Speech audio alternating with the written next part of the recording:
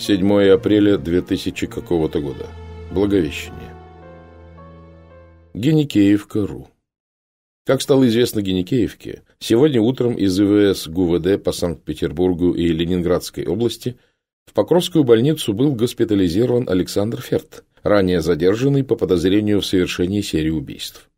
Несмотря на неотложные реанимационные мероприятия, предпринятые врачами больницы, рано утром подозреваемый скончался. Подробности данного инцидента, как и то, что послужило причиной смерти, пока не разглашаются, однако по неофициальной информации Ферт А.В. покончил жизнь самоубийством. Геникеевка будет следить за развитием событий вокруг этого происшествия. Я прочитал это сегодня утром, когда зашел в интернет проверить почту. Вообще, я обычно не слежу за новостями, но в последнее время стал периодически просматривать обновления. И вот... Конечно, не моя вина в том, что полицейские решили арестовать человека, не имея к тому, как я думаю, никаких веских оснований. Но все же сейчас мне не по себе. Как будто это я подписал бедняге смертный приговор, невольно указав на него не только следствию, но и тем, кто имеет все основания бояться и ненавидеть человека, подозреваемого в истреблении ведьмовского ковена. Пожалуй, это подходящий повод, чтобы рассказать о том, с чего все началось. Сколько можно ходить вокруг да около? Мне кажется, мы уже достаточно знакомы для этого, правда? Можете не отвечать, я не привык к диалогам. Издержки замкнутого образа жизни и преподавательской деятельности. Моя форма коммуникации с миром принципиально монологична. Я читаю лекции, пишу статьи, книги или вот этот дневник. Все это не предполагает непосредственной обратной связи. А если я задаю вопрос, то лишь для того, чтобы получить заранее известный мне верный ответ, как, например, во время экзаменов. Ну, или при других обстоятельствах. А еще вот эти длинные вступления, тоже академическая привычка. Стараться придать рассказу объем, показать внутреннее содержание событий, обозначить смысловые связи. Только это сейчас никому не нужно. Всем хочется быстродействующих историй, стишков в четыре строчки, словесных препаратов с мгновенным, но краткосрочным эмоциональным эффектом. Смех, страх, отвращение, сострадание, умиление. Лучше смех, конечно. Никто не останавливается, чтобы подумать, все бегут. У всех мало времени, потому что вокруг очень много информации, которую хочется употребить. И не потому, что она нужна, а просто так, ради развлечения. Все превратились полуночников. Вялых, бледных, с красными глазами, дружно ноющих о хроническом недосыпании, поглощенных информационным чревоугодием. Очень много шума, очень мало смысла. Ничего достоверного, ничего ценного.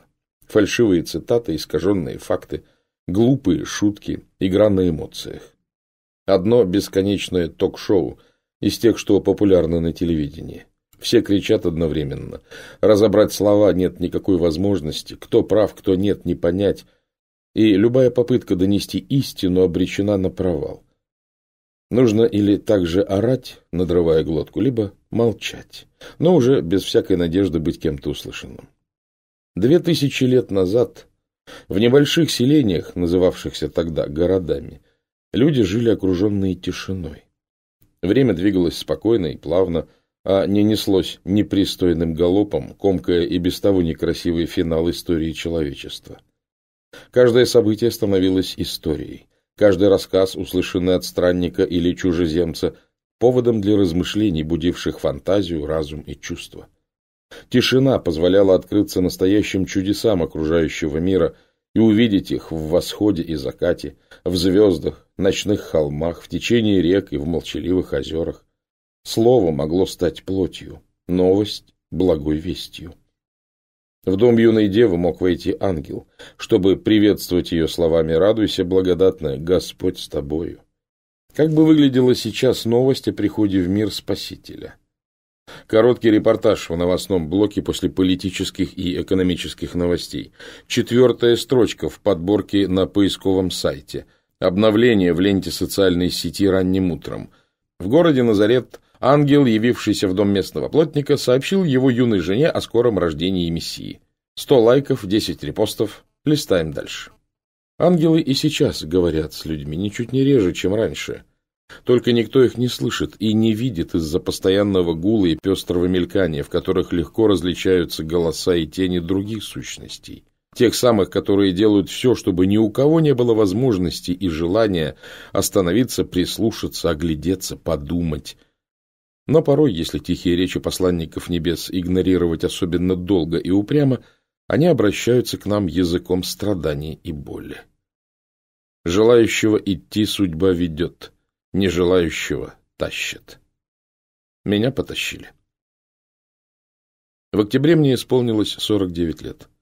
Из них 29 я был мужем, 27 отцом, 25 ученым и преподавателем. Казалось, что этого достаточно, и все идет неплохо. Мы с женой жили на Черной речке, в квартире, оставшейся от ее покойного отца. Дочь уехала от нас в Москву 10 лет назад, еще когда училась на первом курсе театрального института. Перевелась в столичный вуз по той же актерской специальности. Успела сняться в десятке сериалов, выйти замуж, развестись – и теперь жила, по ее словам, в так называемом гражданском браке с человеком, который обеспечил ей возможность не думать о работе как о способе добывания средства к существованию. Лично я считаю, что она стала просто содержанкой у состоятельного женатого бизнесмена, но подтвердить или опровергнуть эти соображения трудно. С дочерью мы созваниваемся не чаще, чем раз в месяц, а видимся пару раз в год. Каждое утро я вставал в одно и то же время, пил кофе, одевался и уходил на работу. Жена просыпалась позже.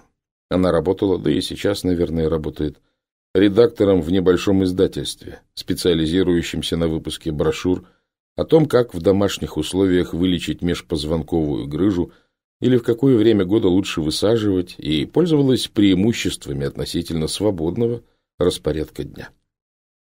По вторникам я работал на кафедре. Писал статьи для университетских сборников и журналов, которые почти никто не читает, или рецензии на научные работы и диссертации, не нужные никому, кроме тех, кто хотел получить ученую степень. В среду, четверг и пятницу проводил занятия у себя на историческом факультете. А по понедельникам приходил на филфак, читал лекции по культуре средних веков и эпохи Возрождения и спецкурс по истории раннего Средневековья. Раньше мне это нравилось. В преподавании есть что-то сродни артистической деятельности, когда выходишь в зал и предлагаешь слушателям плоды своих размышлений и вдохновения, а главное, получаешь от них ответ. В улыбках, заинтересованных взглядах, вопросах, в желании больше узнать, лучше понять, даже в стремлении спорить.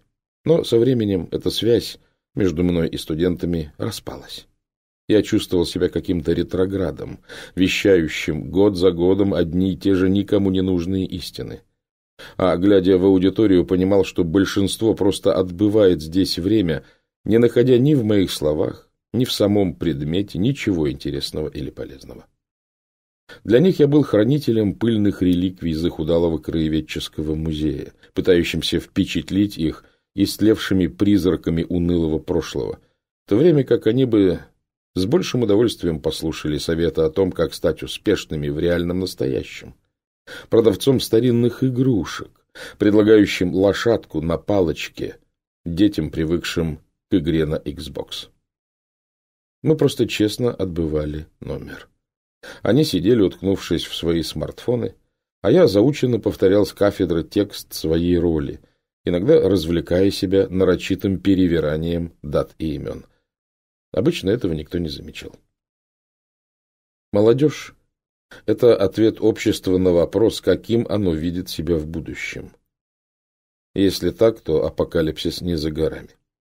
Я чувствовал себя приживалом в том мире, в котором вдруг оказался, старой вещью, которую из ностальгических соображений не выбрасывают на помойку, а отправляют сначала на балкон, а потом на дедовскую дачу – давая возможность обветшать в грязном чулане. Книгой, пылящейся на задней полке, вытесненной туда одноклеточными триллерами и бизнес-пособиями в ярких обложках. Открыткой с искренними словами, любовно выведенными перьевой ручкой, рядом со статусом в социальной сети «Поздравляю всех с праздником». Длинным долгожданным письмом в пожелтевшем конверте среди постов и сообщений. Я постоянно чувствовал раздражение. От постоянно лезущих в уши невежественных трюизмов про благо технического прогресса, от катастрофического идиотизма телевизионных передач, от глупеющих с каждым годом студентов, от лихорадочного веселья пирушки во время духовной чумы, симптомы которой, казалось, вижу только я один. Удивительным образом я превратился в диссидента, ортодокса в мире победившего гуманизма. Полтора года назад я начал писать свою апологию Средневековья. Отчасти для того, чтобы было куда вылить желчное недовольство окружающим, не дававшее мне покоя. Но главным образом потому, что больше не мог молчать. И в этом ток-шоу, участники которого багровее надутыми щеками и брызгая слюной стараются перекричать друг друга, я хотел сказать свое, пусть и очень тихое слово. Разумеется, иллюзий насчет того, что оно будет услышано, я не питал, но попытаться стоило. Нельзя сказать, что работа над монографией придала моей жизни какой-то высокий смысл. Но, во всяком случае, мне было чем себя занять, кроме постоянного сердитого брюзжания перед телевизионным экраном или компьютерным монитором. А еще можно было под благовидным предлогом не ложиться спать одновременно с женой. В этом случае нам с ней могла бы прийти в голову мысль, что надо заняться сексом, и оба испытали бы неловкость. Секс давно стал редким и скучным событием, которое, если и происходило, то главным образом потому, что так надо. И занимались мы этим быстро, неохотно, словно не слишком приятными делами по хозяйству. Сделать, да и забыть поскорее. За 29 лет могут остыть даже звезды, а не только человеческая страсть. Вот и наш брак остыл и прокис, как недельной давности суп, подернувшись тусклой жирной пленкой повседневной привычки. Наверное, сказывался и возраст, мой, не ее. Жена была старше меня на год, что вообще не замечалось, когда нам было по двадцать с небольшим, даже в тридцать лет. Но сейчас... Сейчас мне было всего сорок девять, а ей уже пятьдесят, и она выглядела на каждый год из прожитых полусотни лет не больше, не меньше. Нет, это не было серьезной проблемой для отношений. Слишком много пройдено и пережито вместе, чтобы отсутствие полноценной интимной жизни оказалось сильнее, чем дружеские чувства, которые мы испытывали друг к другу. Просто в какой-то момент времени я понял, что живу в одной квартире с милой, интеллигентной, доброй, стареющей женщиной, которая ведет домашнее хозяйство. Вот и все. Проблема была в другом.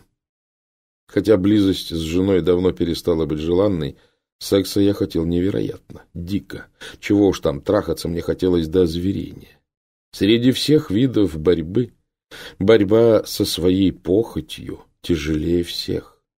С ней вечно кипит война, и победы в ней редки.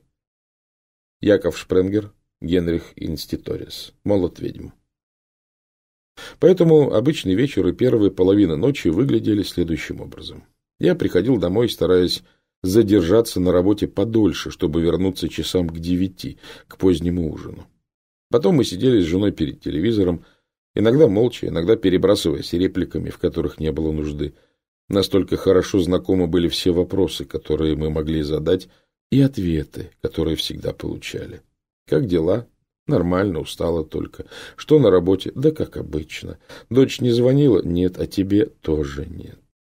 Иногда, глядя в экран, я не выдерживал и разражался таки язвительным ворчанием. И тогда жена просила меня прекратить, потому что и так вокруг достаточно негатива, а тут я еще... Затем обычно незадолго до полуночи она уходила в спальню. Иногда перед сном я целовал ее в щеку, если не забывал. Потом шел на кухню, включал ноутбук, и начиналась моя ночь и мое время. Я открывал файл с рукописью на последней странице, иногда пробегал глазами написанное накануне, потом сворачивал документ, входил в интернет и отправлялся на порно-сайты. У меня было в закладках два-три подобных ресурса — и к выбору материала для просмотра я подходил аккуратно и методично. Я открывал несколько вкладок с различными категориями. Там были и зрелые, и крупные женщины с массивными, блестящими от масла грудями и огромными задницами и тоненькие девочки в очках и с брекетами в образе псевдоневинных школьниц, приемные мамочки, дающие падчерицам уроки анального секса, юные няни, которых склоняли к соитию отцы их подопечных, секретарши, медсестры, горничные, стриптизерши, спортсменки, агенты по недвижимости и актрисы, проходящие кастинг. Они занимались сексом на столах в офисе, в кабинетах врачей, на улице, в подъездах, в возбуждающих грязных общественных туалетах, кабинках пляжных раздевалок и в барах на глазах у вначале изумленной, а потом присоединяющейся к действу публики. Особых предпочтений у меня не было. Хотя, конечно, вариант со школьницами и студентками всегда был беспроигрышный, если другие сюжеты почему-то не вдохновляли. Я выбирал сразу несколько, иногда десяток, иногда больше роликов, ставил их на загрузку и, пока они скачивались, успевал написать страницу-другую о единой ценностной вертикали в средневековом общественном сознании или о трактовке понятия целомудрия в ранних рыцарских монашеских орденах. Потом снова сворачивал страницу рукописи и запускал видео. Изящные азиатки, грудастые негритянки, рыжие европейки, крики, текущие слюни изо ртов, которые вогнали член до самого горла, растянутые задницы, истекающие густым и блестящим соком вагины, вопли, слезы, рычания, брызги и судороги. Я мастурбировал, переходя от сюжета к сюжету, от сцены к сцене, доводя себя до невероятного напряжения, а потом прерывался, вновь открывал свою апологию и вдохновенно громил гуманистическую парадигму трансцендентального западноевропейского субъекта эпохи Возрождения. Это могло продолжаться часами. Пока не выдержав, я не кончал в кухонную раковину, сжав зубы, корчась и прижимаясь яйцами к холодной металлической кромке. Потом я тщательно смывал сперму, натягивал обратно трусы и приступал к другому занятию презрению к самому себе и неубедительному погружению в стыд, которое обычно заканчивалось обещанием прекратить унижать себя подобным самоудовлетворением раз и навсегда. Разумеется, на следующую ночь все повторялось. Оторвать себя от жадного созерцания яростных, звериных, восхитительно непристойных совокуплений я не мог. Я чувствовал, что люблю то, что ненавижу. Ненавижу то, что втайне люблю. Хочу уничтожить и то, что люблю, и то, что ненавижу, ибо это суть одно и то же, чтобы одновременно рыдать от жалости и утешаться сознанием своей правоты. Шпренгер и Инститорис писали, что фантазия — хранилище воспринятых форм. Моя фантазия каждую ночь воспринимала такое количество форм специфического содержания — что днем могла продуцировать их самостоятельно, с проекцией на окружающий мир. В вагоне метро я оглядывался по сторонам. Вокруг меня были женщины и девушки, яркие брюнетки с агрессивным макияжем и красным лаком на удлиненных ногтях, клубничные пышные блондинки, тоненькие студентки с бледной нежной кожей и большими голубыми глазами. Я ехал и думал, с кем из них я хотел бы заняться сексом. Даже изобрел себе примету. Если таких за время поездки наберется больше трех, то день будет удачным. Обычно так и выходило. И хотя дни были похожи один на другой, жаловаться мне не приходилось. Наверное, примета работала. Разумеется, при такой организации времени ночных трудов работа над книгой продвигалась медленнее, чем я того хотел, но, тем не менее, к 7 декабря я ее успешно закончил, поставив точку на последней 325 страница. А на следующий день все изменилось. Я хорошо помню тот понедельник. Помню, как при входе в вагон метро какой-то мальчишка сильно толкнул меня в бок и прошмыгнул вперед. Видимо, еще помнил то время, когда был сперматозоидом и стремился к заветной цели так же самозабвенно, как сейчас к свободному месту недалеко от двери. Я-то те времена давно позабыл. Помню, как сам потом уступил место девушке, как она, поблагодарив, села, чуть коснувшись меня упругим бедром, и как тут же накатила волна влажного жара. Как потом оставшееся время пути я стоял и смотрел на нее. Резко очерченное выразительное лицо, темные гладкие волосы, красивые руки и двухцветный лак на ногтях, светлый с красными скошенными треугольниками у верхней кромки.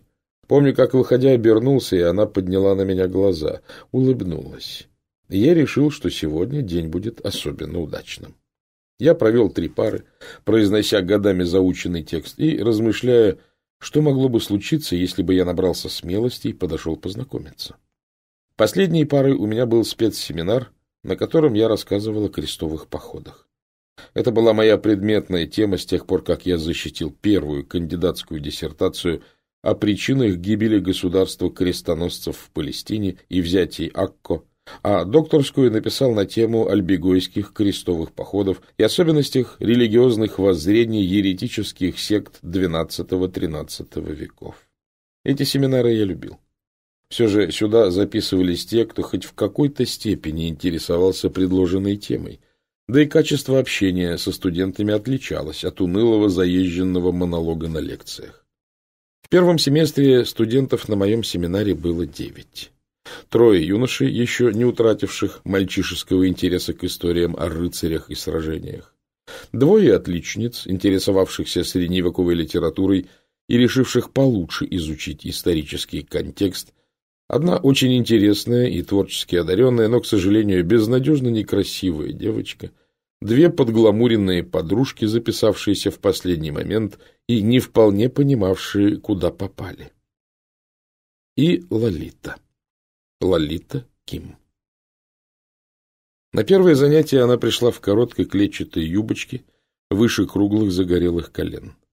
Тугая свежая грудь слегка выступала из расстегнутой белой рубашки. Царевна степных кочевников, переодетая в японскую школьницу. Черные блестящие волосы живописно растрепаны в то, что сейчас называется креативной стрижкой, и прокрашены темно-красными прядями. Азиатские девочки любят так краситься. Когда мы познакомились, она сказала, «Меня зовут Лолита, и я ненавижу Набокова». Это было очаровательно. Ее хотелось грубо насиловать и бережно защищать одновременно. Все полтора часа семинара я старался не слишком на нее таращиться. Трудность была в том, что она сама постоянно бросала на меня быстрые обжигающие взгляды темных раскосых глаз из подстриженной челки. Через неделю она попросила остаться после занятий, чтобы уточнить некоторые детали политических решений Клермонского собора, которые были ей до конца непонятны. Еще через два дня, когда я особенно долго задержался на кафедре, мы столкнулись у выхода с факультета. Лолита что-то быстро и путанно объяснила, то ли про дополнительные занятия, то ли про что-то еще, и спросила, не провожу ли я ее до метро — даже в 10 часов вечера короткий путь по первой линии и среднему проспекту до Василия Островской не представляется опасным. Но она сказала, что боится ходить одна. Я согласился. По дороге выяснилось, что Лолита живет на Удельной. Это всего две остановки дальше моей Черной речки, и я согласился проводить ее до дома.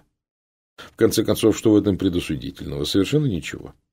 У двери ее парадной мы обменялись номерами телефонов, просто так, на всякий случай, а потом она поцеловала меня в щеку, тоже, наверное, просто так. Ночью я загрузил два десятка роликов с азиатскими студентками, горничными и медсестрами и не написал даже половины страницы. Зато дважды кончил в кухонную раковину, представляя раскрытый рот на месте сливного отверстия. Через несколько дней она встретила меня в коридоре, когда я шел на лекцию другого потока, и торопливо заговорила, что у нее есть идеи курсовой, которую она хотела бы со мной обсудить, и не мог бы я сегодня с ней встретиться для этого после занятий, а она знает тут неподалеку отличное место. Когда тебя ловят на ходу, отказаться труднее, чем если никуда не торопишься. Особенно если отказываться не очень и хочется. Я согласился, ведь причина была уважительной. Мы просидели часа два в каком-то кафе с расписными стенами, обилием бородатых молодых людей и интерьером, пытавшимся выдать бедность за стильность. За это время я узнал, что она живет с родителями, что у нее есть младший брат, что она только наполовину кореянка, а еще у нее есть казахские и уйгурские корни, что она очень любит историю, интересуется эзотерикой и что она всегда мечтала о таком преподавателе, как я, и ей нравятся наголо бритые мужчины, потому что это очень стильно, словом, почти обо всем, кроме идеи курсовой работы. Впрочем, как оказалось, идея была в другом. Когда мы ехали в метро, и вагон слегка качнуло, Лолита прильнула ко мне, будто потеряв равновесие, да так и осталась стоять, прижимаясь все теснее и теснее. Ее тело было упругим и гибким. Я почувствовал, как теплые ладошки пробрались ко мне под пиджак и обняли за сразу напрягшуюся поясницу. Она встала на цыпочки, и ее дыхание щекотало мне шею. Из вагона мы вышли под руку. На эскалаторе она снова обняла меня, уже не стесняясь, и сказала, что хочет познакомиться со мной поближе, совсем близко.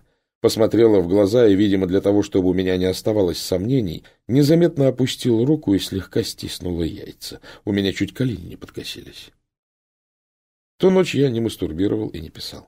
В два часа ночи лег в постель к жене, согретый, раскисший ото сна, закутанный в безразмерную ночную рубашку, которую я попытался поднять, чтобы засунуть в теплое тело напряженный до боли член. Супруга только что-то проворчала во сне, одернула задранный мною подол и отодвинулась. На следующий день в университете я написал Лолите сообщение с предложением встретиться во время длинного перерыва в середине дня. Мы уединились в пустующей аудитории на верхнем этаже. Пахло строительной пылью и древесной трухой. Дальше по коридору декан затеяла ремонт помещений, предназначенных под аренду какого-то коммерческого учебного центра. И теперь там целыми днями и вечерами сносили стены и ломали перекрытия. Я сел на стул и не успел глазом моргнуть, как Лолита уселась на столе напротив меня, раздвинув ноги и закусив губу. Я откинулся на спинку, отодвинувшись подальше от белых трусиков, оказавшихся чуть ли не у меня перед носом, и сказал, что никакого продолжения знакомства не будет, что я женат, что отношения с женой для меня важны, что мы вместе дольше, чем она, Лолита, живет на свете, что моя дочь старше ее на семь лет, ну и все прочее в том же духе, что, вероятно, обычно говорят в таких случаях. Она ничего не ответила. Резко сдвинула ноги, соскочила со стола и вышла, посмотрев на меня так, как верно смотрели половчанки на дружинников князя Игоря, разорявших степные станы. В этом взгляде было зловещее и полное решимости обещание. Я боялся, что начнутся ночные звонки и сообщения, истерические выходки на занятиях, вызывающие поведение или еще что-нибудь в этом роде. Но нет. Лолита по-прежнему бросала на меня взгляды, от которых становилось жарко, проходила мимо с гордо поднятой головой, так, чтобы я ощутил теплую волну воздуха от ее тела и аромат ярких духов, закидывала одна на другую свои гладкие ноги, а когда замечала, что я смотрю на нее, поднимала бровь в деланном изумлении и одергивала юбку. Но все это было молча. Постепенно я успокоился. Мне казалось, что все кончилось, и можно обо всем забыть. 8 декабря прошлого года, когда я вошел в аудиторию, все еще размышляя о девушке в вагоне метро, то увидел Лолиту и понял, что она единственное, чего я хочу в этой жизни. Это было как внезапный удар, или откровение, или внезапно вспыхнувший яркий свет в темной комнате. Мне не описать более точно того, что я почувствовал, но подумал одно. Лолита Ким. Вот все, чего я хочу в этой жизни — и, взглянув в ее глаза, догадался, что она это знает. Говорить я не мог. Ко всеобщему неудовольствию придумал на ходу какую-то письменную работу на все полтора часа и сидел, потирая виски и стараясь не смотреть в ее сторону. Ларита, как ни в чем не бывало, аккуратно писала на листочке, тоже не глядя на меня. Когда время вышло, я попросил ее задержаться — она опять удивленно вскинула брови, у нее это хорошо получалось, и чинно уселась на стул на заднем ряду. Я закрыл дверь. Некоторое время мы молчали. — Вы о чем-то хотели со мной поговорить, Аркадий Романович? — спросила она звонким голоском хорошо воспитанной девочки. — Да.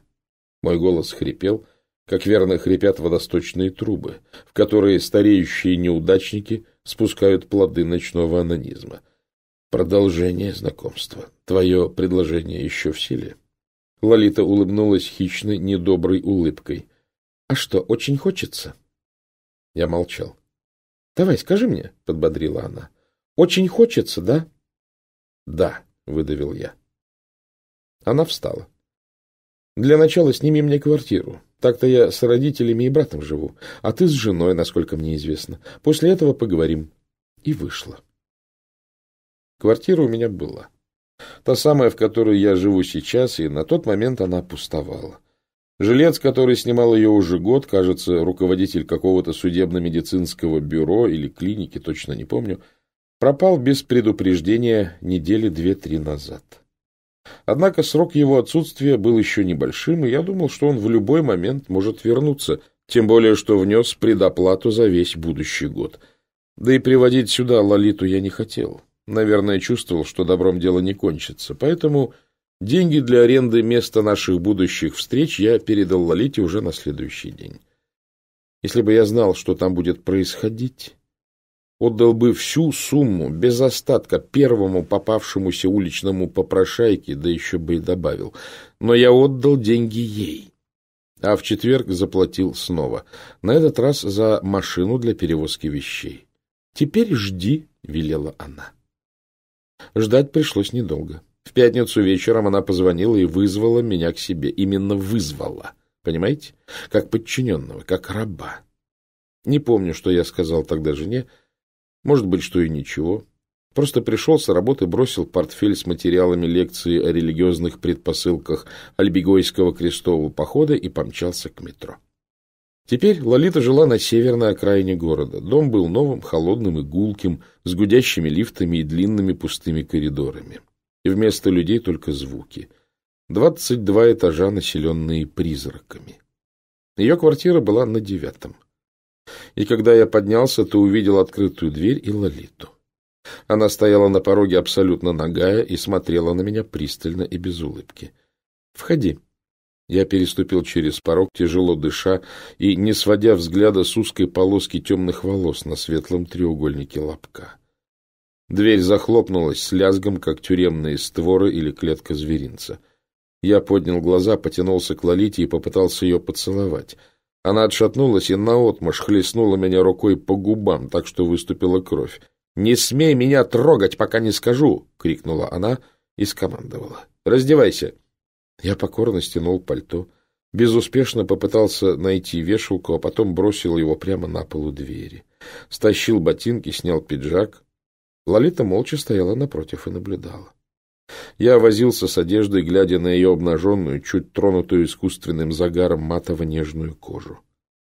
Через минуту я уже был полностью голый, топтался в ярко освещенной прихожей по грязному коврику, чувствуя одновременно неловкость и беззащитность, которую обычно ощущает голый человек, раздевшийся не по собственной воле. Лолита посмотрела на меня, поморщилась, потом распахнула дверь в ванную, взяла меня за шею и резко втолкнула туда, словно пса, которого нужно помыть после прогулки. Я послушно забрался в душевую кабину, боясь сделать лишнее движение.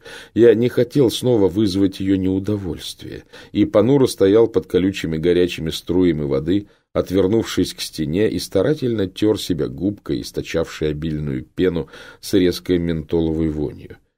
Позади меня с шорохом открылась и снова закрылась дверца душевой. Я только успел повернуться, как Лолита толкнула меня ладонями в грудь, заставив прислониться к стене, и опустилась на колени.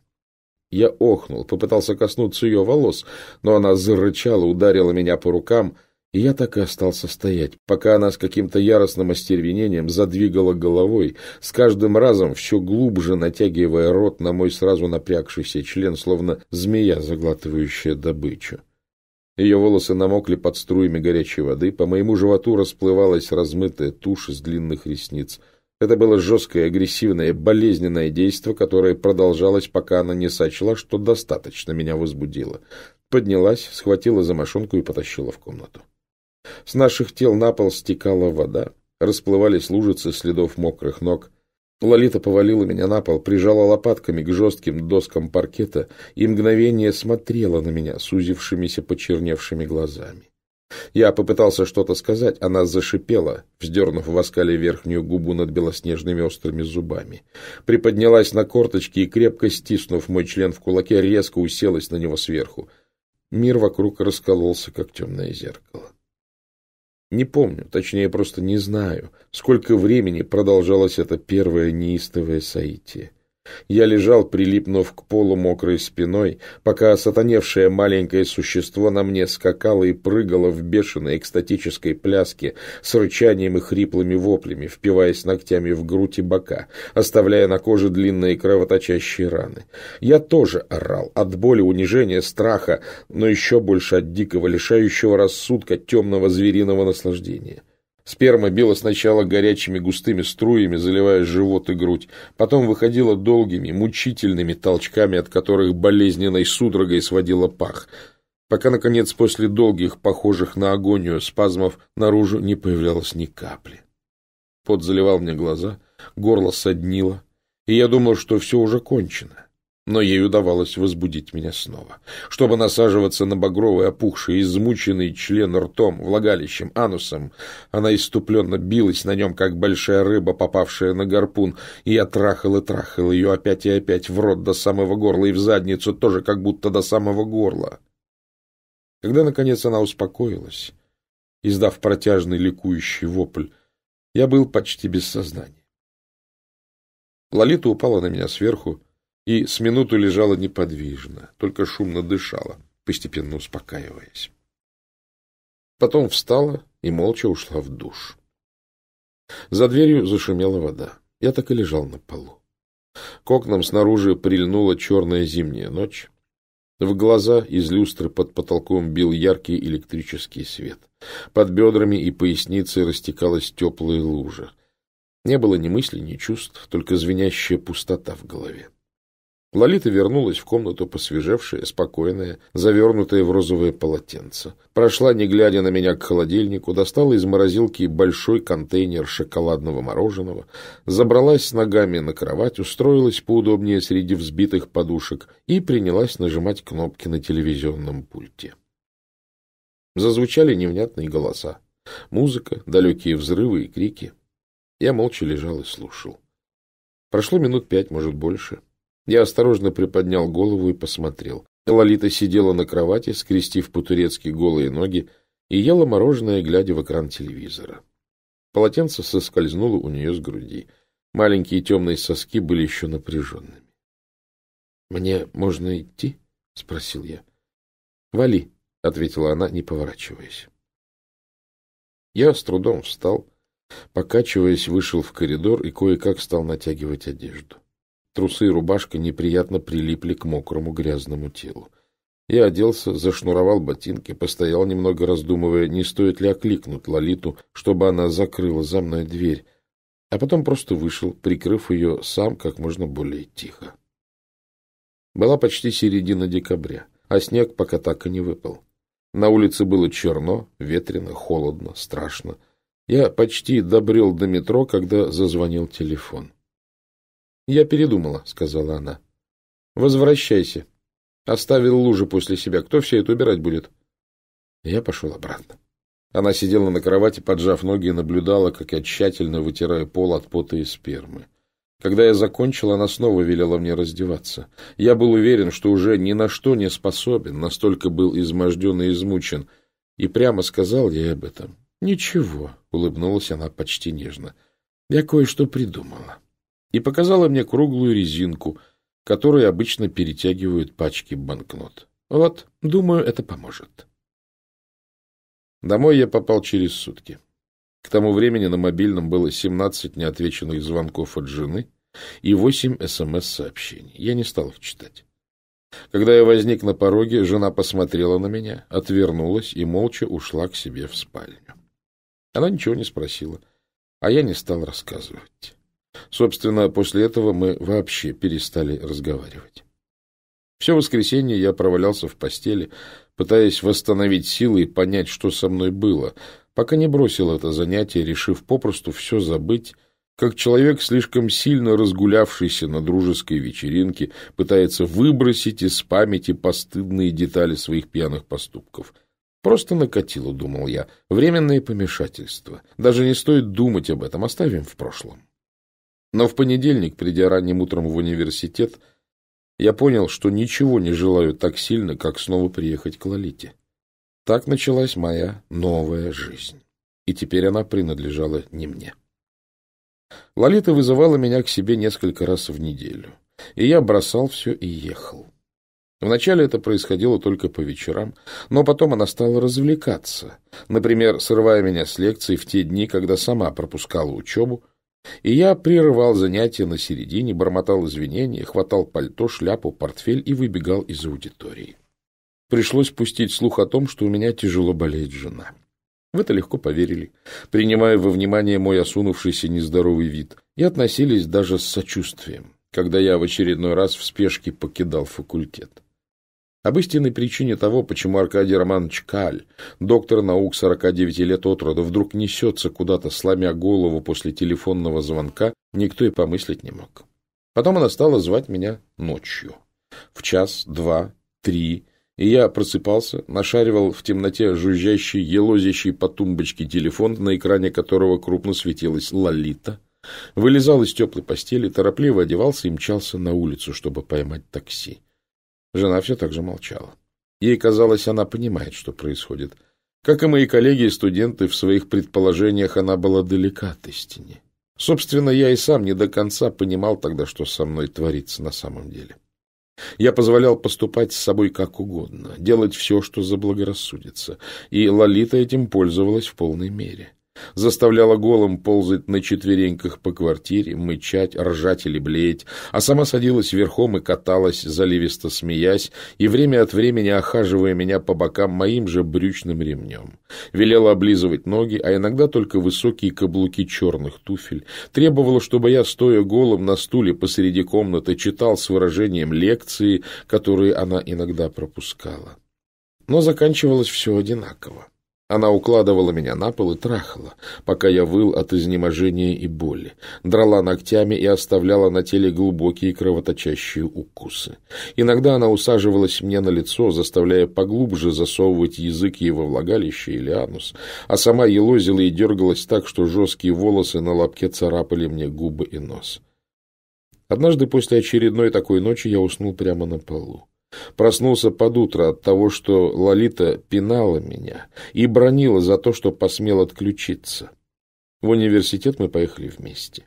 А когда подходили к аудитории, она посмотрела на меня, брезгливо скривилась, полезла в сумочку и протянула упаковку салфеток.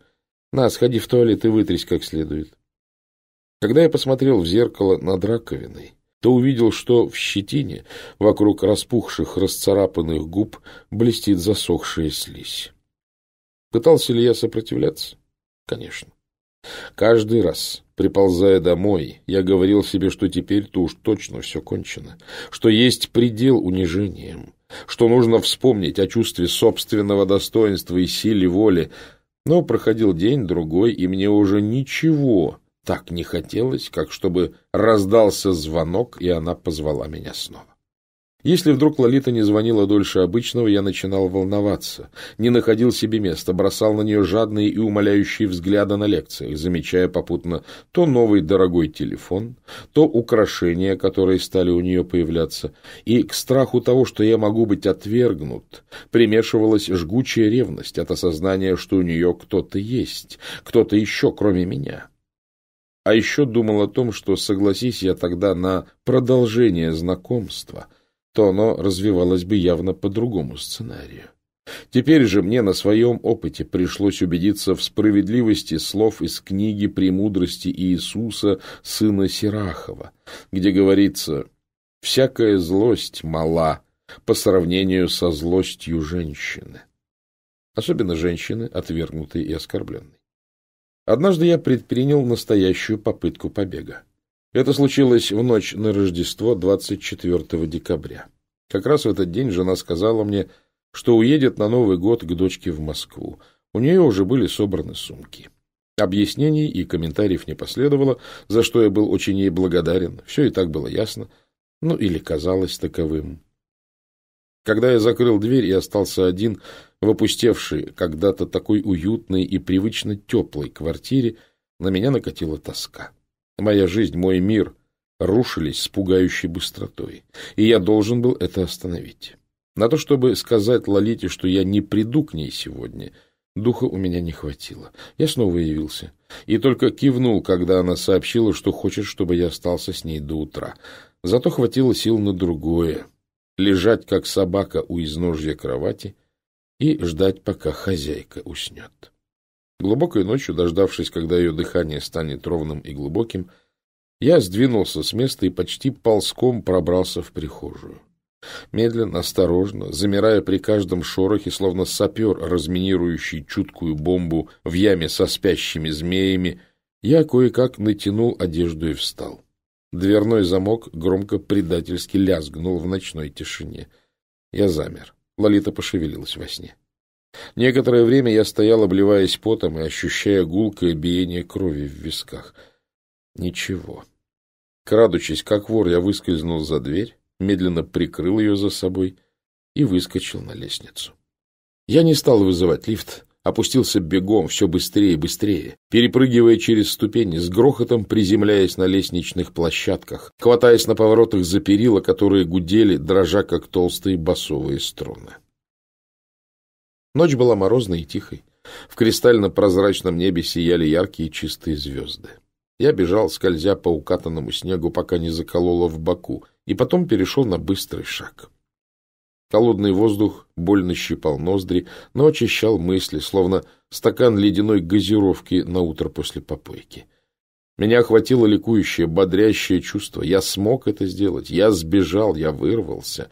Теперь нужно только добраться до дома, укрыться от безумия и мрака прошедших недель за надежными дверями в желтом уютном тепле, а потом позвонить жене. Я объясню ей все, расскажу все, что было, и она отнесется ко мне с пониманием, которого мне так не хватало последнее время, и поддержит, как умела только она, как всегда поддерживала на протяжении трех десятилетий нашего брака.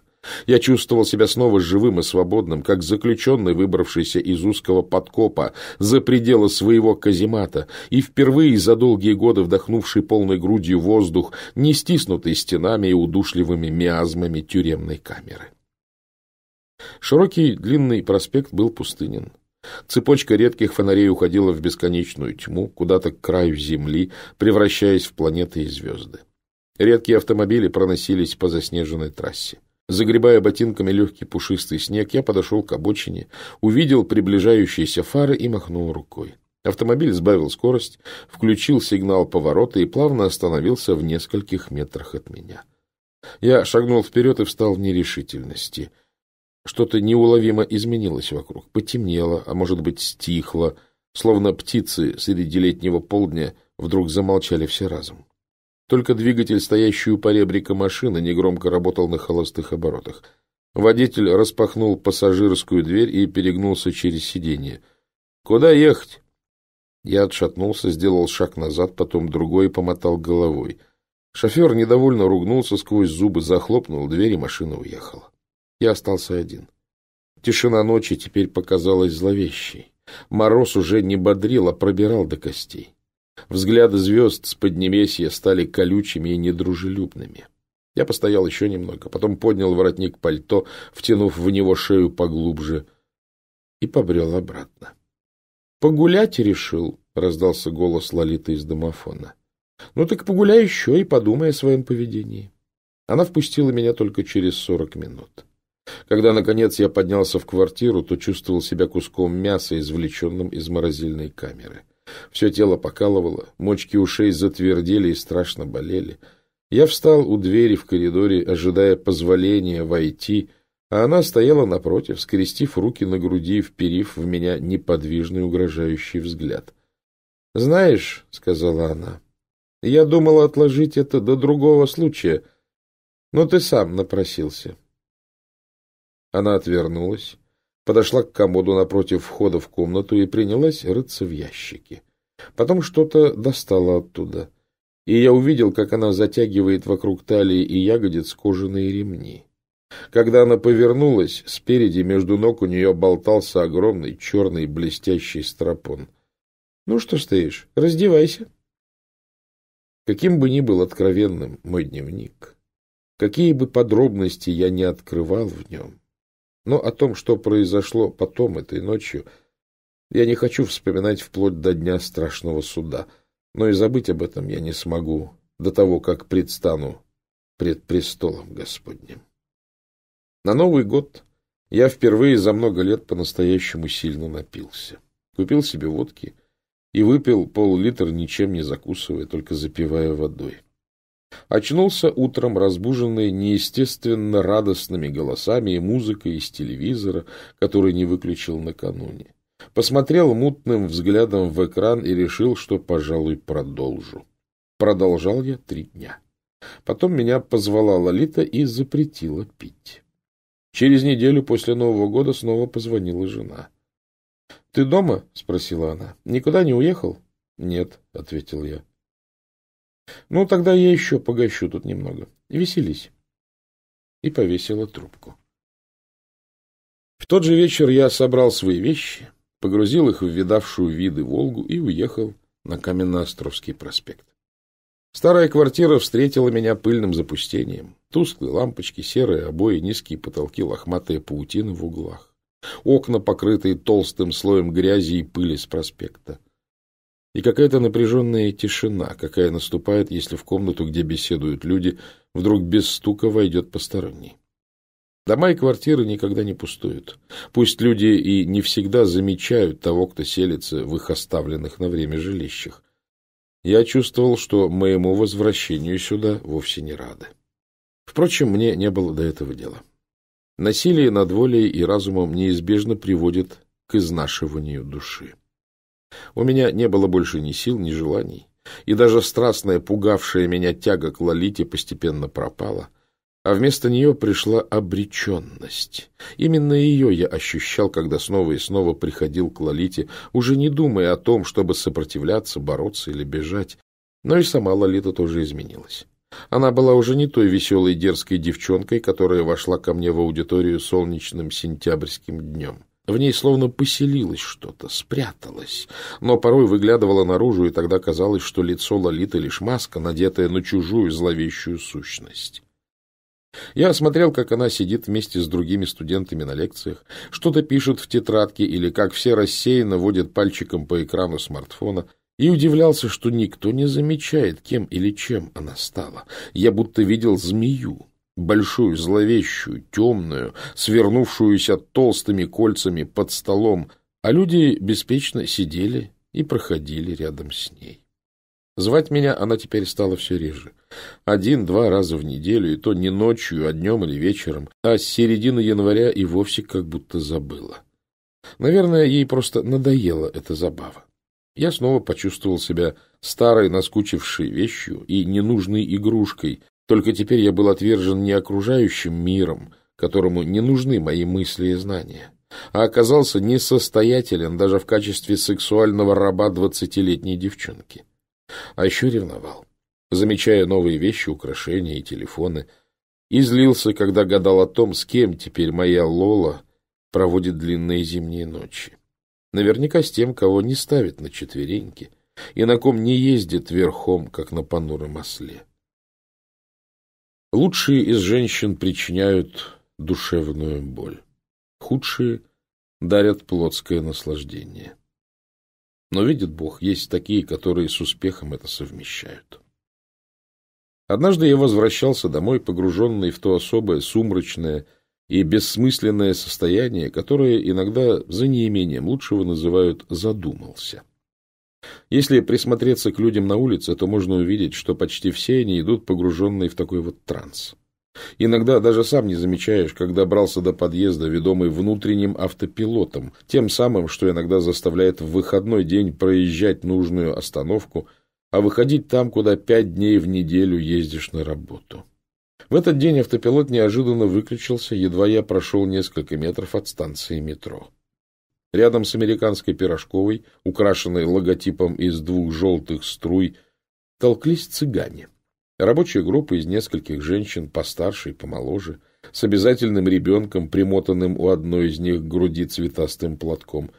Я принял левее, прижавшись к кромке тротуара рядом с дорогой, но поздно. Одна из цыганок уже стремительно бросилась ко мне на перерез. «Парень, парень, дай ребенку на молоко!» Я помотал головой, что-то пробормотал — и дернулся в сторону, но уперся в рекламный светящийся короб с изображением сияющей женщины, предлагавшей крем от морщин. Лицо женщины было забрызгано уличной грязью, а на лбу прилепилось розовое объявление «Анжелика, 24 часа». Я заметался между проезжей частью, светящейся женщиной и цыганкой, которая не отставала, начитывая монотонным речитативом. «Я все тебе расскажу, все покажу. Ты парень хороший, ты выгоды не искал, ты любви искал. Два человека тебе в жизни мешают, один рыжий, другой черный, но ты не бойся, порчу на тебя наводит, но я тебе помогу». Я замер, остолбенев, словно жена Лота, узревшая гибнущий садом. В одно мгновение все стало на свои места. Так бывает, когда долго смотришь на картинку-загадку, пытаясь найти на ней замаскированное лицо, а, наконец, увидев, удивляешься. Как же не замечал его раньше? Порча, колдовство, ну, конечно же. Приободрившаяся цыганка ухватила меня за рукав и продолжала заученный монолог. «Вытащи бумажку, заверни мне ее монетку, положи мне в руку, через час бумажка покраснеет, через два посинеет, но ты не бойся». Я посмотрел на нее и расхохотался. Цыганка мгновенно отпустила мою руку и шарахнулась в сторону. Порог своей квартиры я переступил победителем. Даже тусклые лампочки как будто светились ярче. Потолки поднялись, и вокруг словно звучали фанфары. Ответ найден. Напрасно я изводил себя все это время, думая о собственной порочности, слабоволии, психологической зависимости. Мужчина находится во власти женщины. Женщина находится во власти дьявола, писал Жозеф Пеладан. Порча, колдовство, магия. Это все объясняло. Оставалось только удивляться, как же я не догадался об этом раньше. А ведь именно мне додуматься до этого было легче, чем кому-либо другому, хотя бы потому, что слова «ведьмовство», «колдуны», «сатанинские культы» я произносил за последний месяц на лекциях и семинарах не один и не два раза. Тут мне понадобится некоторое отступление от своего рассказа, небольшой исторический экскурс. Надеюсь, вы не сочтете его утомительным – и прочтете. Все лучше, чем листать новости в социальной сети. Ну а если не хотите брать на себя такой труд, смело переверните несколько страниц. Дальше снова будет про секс и убийство. История — это не перечень фактов, дат и имен. Это понимание истинных первопричин и взаимосвязей событий, причем причин глубинных, уходящих истоками во времена часто бесконечно далекие от тех, когда сами события произошли. Поясню на элементарном примере. То, что менеджер по закупкам Петров проворовался у себя на работе, завышая суммы контрактов с поставщиками, простой факт, достаточный для управления собственной безопасности, чтобы выгнать Петрова со службы с позором и при случае выбить из него то, что он ухитрился украсть. Увлечение менеджера Петрова стриптизершей Камиллой из клуба «Розовый фламинго», на которую он и потратил львиную долю того, что похитил, есть причина произошедшей растраты, краха карьеры и синяка под глазом. Психологические особенности личности Петрова, которые обусловили его тягу к стрип-клубам, неспособность к нормальным отношениям с женщинами, стремление самоутверждаться, демонстрируя щедрость и засовывая купюры за резинку трусов танцовщиц, покупая таким образом ощущение собственной значимости, это глубинные причины произошедшего. Но если мы хотим вместо унылого и малоинтересного рассказа о закомплексованном воришке и повесе увидеть историю, то обратимся к детству Петрова, к его самым первым невинным годам, когда в его личности сформировался досадный изъян, через десятилетия приведший к растратам и проституткам, к жизни его родителей, этот изъян допустивших, а то и создавших и перед нами может открыться драматичная семейная сага, по напряженности линий сюжета и глубине философского смысла, не уступающая творению Маркеса. Понимаете, о чем я? История человечества предстает перед нами в виде огромных, исписанных сложнейшими формулами досок в академической аудитории. В них соединены взаимосвязи и факты, события и люди, причины и следствия – но как опытный математик может, сокращая и упрощая, привести самые сложные выкладки к единице или к нулю, так и историк, глядя на кажущуюся бесконечной череду замысловато переплетенных событий, способен увидеть в итоге, как все они сводятся к одному – постоянной, упорной борьбе двух начал, от первых до последних дней человечества. Стоит это понять, и история обретает свой истинный смысл открываясь во всей своей грозной эпической красоте. Это очень неудобная правда. Настолько неудобная, что мы предпочитаем использовать эвфемизмы, чтобы не называть противоборствующие силы их истинными именами – Бог и дьявол. Дьявола, кстати, упоминать всегда как-то сподручнее и проще, вы замечали? А сказать «Бог» неловко, как подростку, стесняющемуся при друзьях говорить «мама» и «папа». Правду эту признавать некомфортно, прежде всего потому, что тогда придется что-то решать, делать выбор, идти каким-то из двух и только двух из возможных путей. А идти трудно, лень и не хочется.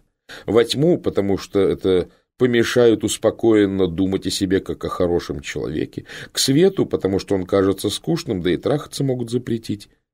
Монтегю Саммерс писал, что в большинстве своем мы всего лишь равнодушные, посредственные, смешанные создания, либо вообще не задумывающиеся о выборе пути, либо успокаивающие себя заблуждениями о том, что есть нечто посередине, что-то серое, размытое, не черное, не белое, не холодное, не горячее, где можно жить, как заблагорассудится, соотнося свое существование только с условными нормами общественной морали. Но в этой войне никому не удастся сохранить нейтралитет, потому что стороны не берут пленных. Одна сторона никогда не меняет обличья, ибо ее оружие — истина.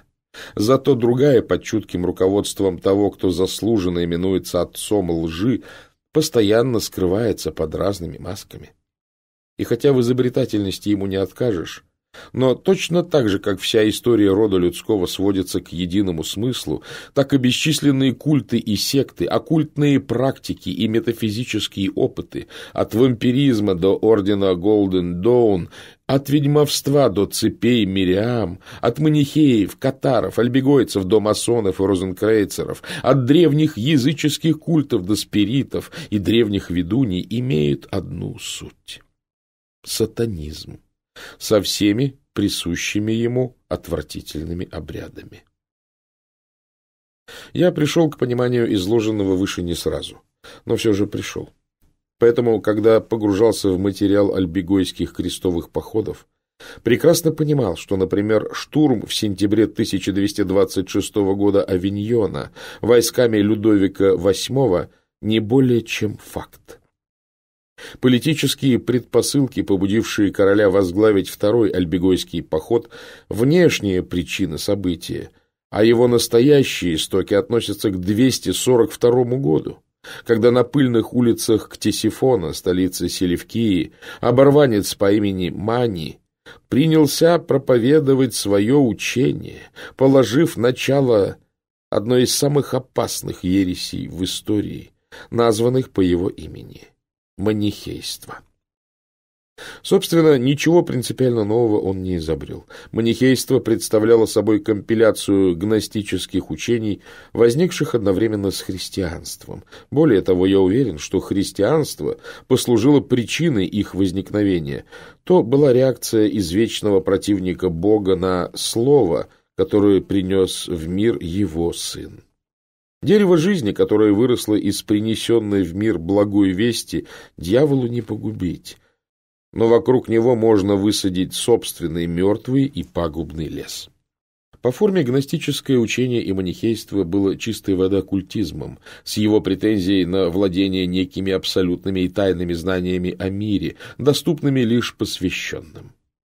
На внешнем контуре декларируемых мировоззренческих постулатов гностицизм был чрезвычайно похож на современный светский гуманизм с его неприятием единой ценностной вертикали и отрицанием абсолюта дихтомии добра и зла. Оба этих принципа представлялись универсальными, равными, способными изменяться в зависимости от ситуации и обстоятельств, а также оставляющими возможность выбора между ними – без всякой нравственной индексации такового. Что мне сейчас хорошо, то и добро. Если допустить реальность существования дьявола, то придется признать, что по убеждениям и образу действий он был бы настоящий гуманист и либерал, проповедующий свободу как вседозволенность, гордыню и ненависть к церкви. Неудивительно, что это привело к инверсии двоичных представлений и характерному извращению библейской космологической системы. На внутреннем контуре проповедуемых воззрений гностической секты утверждали, что Демиург, библейский бог, и есть олицетворенное зло, а змей является воплощением добра. Это чем-то напоминает характерное для атеистической советской эпохи прочтение мифа о Прометее. Зевс в нем выступает как тиран, держащий в неведении и тьме несчастных страдающих человеков, в то время как гуманный либерал Прометей заботливо одаривает их огнем и знаниями, вовсе им не предназначенными. Отсюда логически следовало, что все, предписанное в Писании, является злом, ну, точнее, вредным для человеческого блага ограничением, и наоборот, все запрещаемое им есть добро. Ибо зачем я должен воздерживаться от чего-либо, если мне хочется? Потому что в какой-то книжке написано? Ну уж нет. Именно поэтому ритуальное нарушение божественных заповедей, богохульство и осознанное поклонение дьяволу стало основой церемоний всех еретических сект, породивших затем многочисленные сатанинские культы. Это закономерное развитие стремления к вседозволенности, понимаемой как свобода, Просто кто-то идет по этому пути до конца, доходя до алтарей, на которых во славу Вельзевула приносятся в жертву младенцы. А кто-то так и остается в нерешительности, топтаться между светом и тьмой, успокаивая себя тем, что никого не убил, каждый день убивая себя потаканием собственным слабостям и страстям. В основе любой культуры находится культ. Один из двух возможных. Отвержение одного из них неизбежно приводит к другому.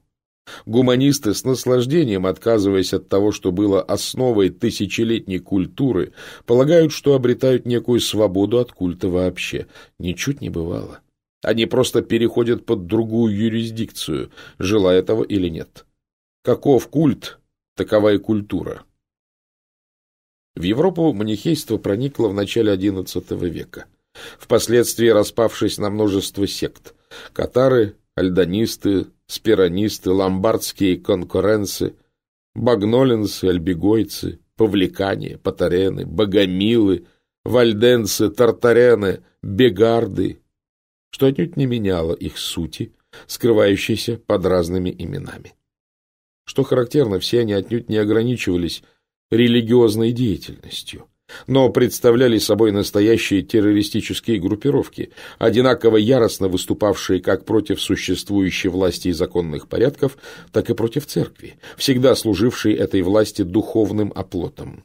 Чего стоит только некий Танхилин в 1112 году, собравший под своим началом целую армию, числом до трех тысяч человек и в итоге фактически захвативший город Антверпен, где правил как самопровозглашенный король. Анархическая и антихристианская риторика соседствовали в его проповедях, и кроме социального бунта он призывал к полному отречению от церковных законов, что в итоге привело к дикому разгулу порока и бесчестия в подчиненных ему областях. Власть, особенно та, которая опирается на традиционные духовные ценности, всегда вызывает ненависть у тех, кто проповедует хаос. Наиболее сильной в политическом и организационном плане была манихейская секта катаров, обосновавшаяся в Лангедоке и на юго-западном побережье Франции, бывшем тогда под властью королевства Арагон. Они именовали себя альбигойцами по названию городка Альби. Попытки папы Иннокентия III вразумить их средствами убеждения ни к чему не привели. С 1198 по 1208 год – Продолжались бесконечные переговоры и дискуссии, пока осмелевшие альбегойцы, растлившие своим вероучением уже весь Лангедок и заручившиеся поддержкой местных дворян, не зарезали очередного папского посланника в его собственной постели. И тогда в 1209 году около десяти тысяч крестоносцев выступили из Леона, начав растянувшуюся на много десятилетий войну, вошедшую в историю под названием Альбегойских крестовых походов. Искоренение ереси стоило почти миллиона жизней. В 1233 году катары были разгромлены, но отдельные очаги сопротивления сохранялись до 1255 года, когда был взят замок Керебюс. Некоторые исследователи считают, что окончательно очистить многострадальный Лангедок от катаров удалось только в 1321 году, когда на костре был сожжен некий Гийом Белибаст. Я же уверен, что совершенной победы достичь вовсе не удалось. Сменив маски, затихнув до поры и до времени, сатанинские секты благополучно продолжали существовать, ожидая часа своего торжества. И он настал немногим более чем через сто лет, когда Ренессанс породил светский гуманизм с его готовностью принять и признать любые доктрины, лишь бы они шли вразрез с традиционными христианскими ценностями. Характерно даже название этой эпохи – Возрождение. Есть такие слова, которые гипнотически действуют на современных людей, воспринимающих только кажущийся положительным смысл, совершенно не вдумываясь в контекст. Свобода от чего? Равенство кого с кем? Возрождение чего именно? Так я скажу чего. Прежде всего античной дохристианской языческой культуры, возрождение римских оргий, афинских борделей и вакханалий. Слова манихей, альбигоец, катар и колдун были практически синонимами, потому что именно колдовские практики предполагали взывание к силам, которым поклонялись члены еретических сект. Участниц шабашей, ведьмовских ковенов и езбатов казнили именно как еретиков, сатанистов и уголовных преступников. Ведьмы, преданные огню светскими властями, были не чудаковатыми милыми старушками, пострадавшими за траволечение и попытки заговорить бородавку у сына деревенского старосты, не роковыми рыжими красотками, которых сжигали за то, что они горделиво отказывались уступить похоти отвратительных пузатых монахов, не свободолюбивыми последовательницами воспевающих природу языческих обычаев. Оставим эти образы в породившем их современном информационном поле, с завидным упорством, приучающим современного человека к терпимости к колдунам. Преподобный Август Монтегю Саммерс называл ведьму злобным созданием, социальной чумой и паразитом на теле общества, последователем отвратительных обрядов, отравительницей, шантажисткой и виновницей многих других преступлений, членом властной тайной организации враждебной церкви и государству, богохульницей, властвующей над крестьянами с помощью террора и суеверий, шарлатаном в медицине, сводней и знахаркой, делающей аборты, теневым советником, поклонникам распутных придворных дам и кавалеров. Ведьм казнили как еретиков в худшем смысле этого слова, сатанистов, убийц и опасных преступников. Вопреки распространенному мнению, смертный приговор выносила не инквизиция, а светские власти, ибо функцией инквизитора было, собственно, только установление самого факта ереси и попытка вернуть еретика в лоно церкви. Последнее, впрочем, вряд ли было возможно для тех, кто сознательно выбрал служение врагу человеческого рода.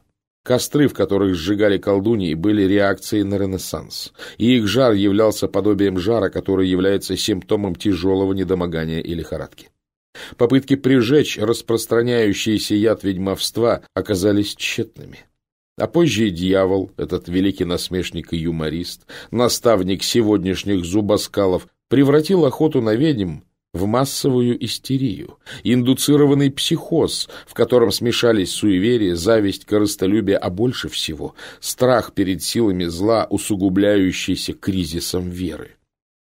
Можно представить, как радовались ведьмы и бесы, когда обезумевшие от ужаса или одержимые ненавистью христиане сжигали друг друга сотнями, без разбирательств и суда, не жалея ни молодых, ни старых, и, кстати, без всякого участия в этом деле инквизиции.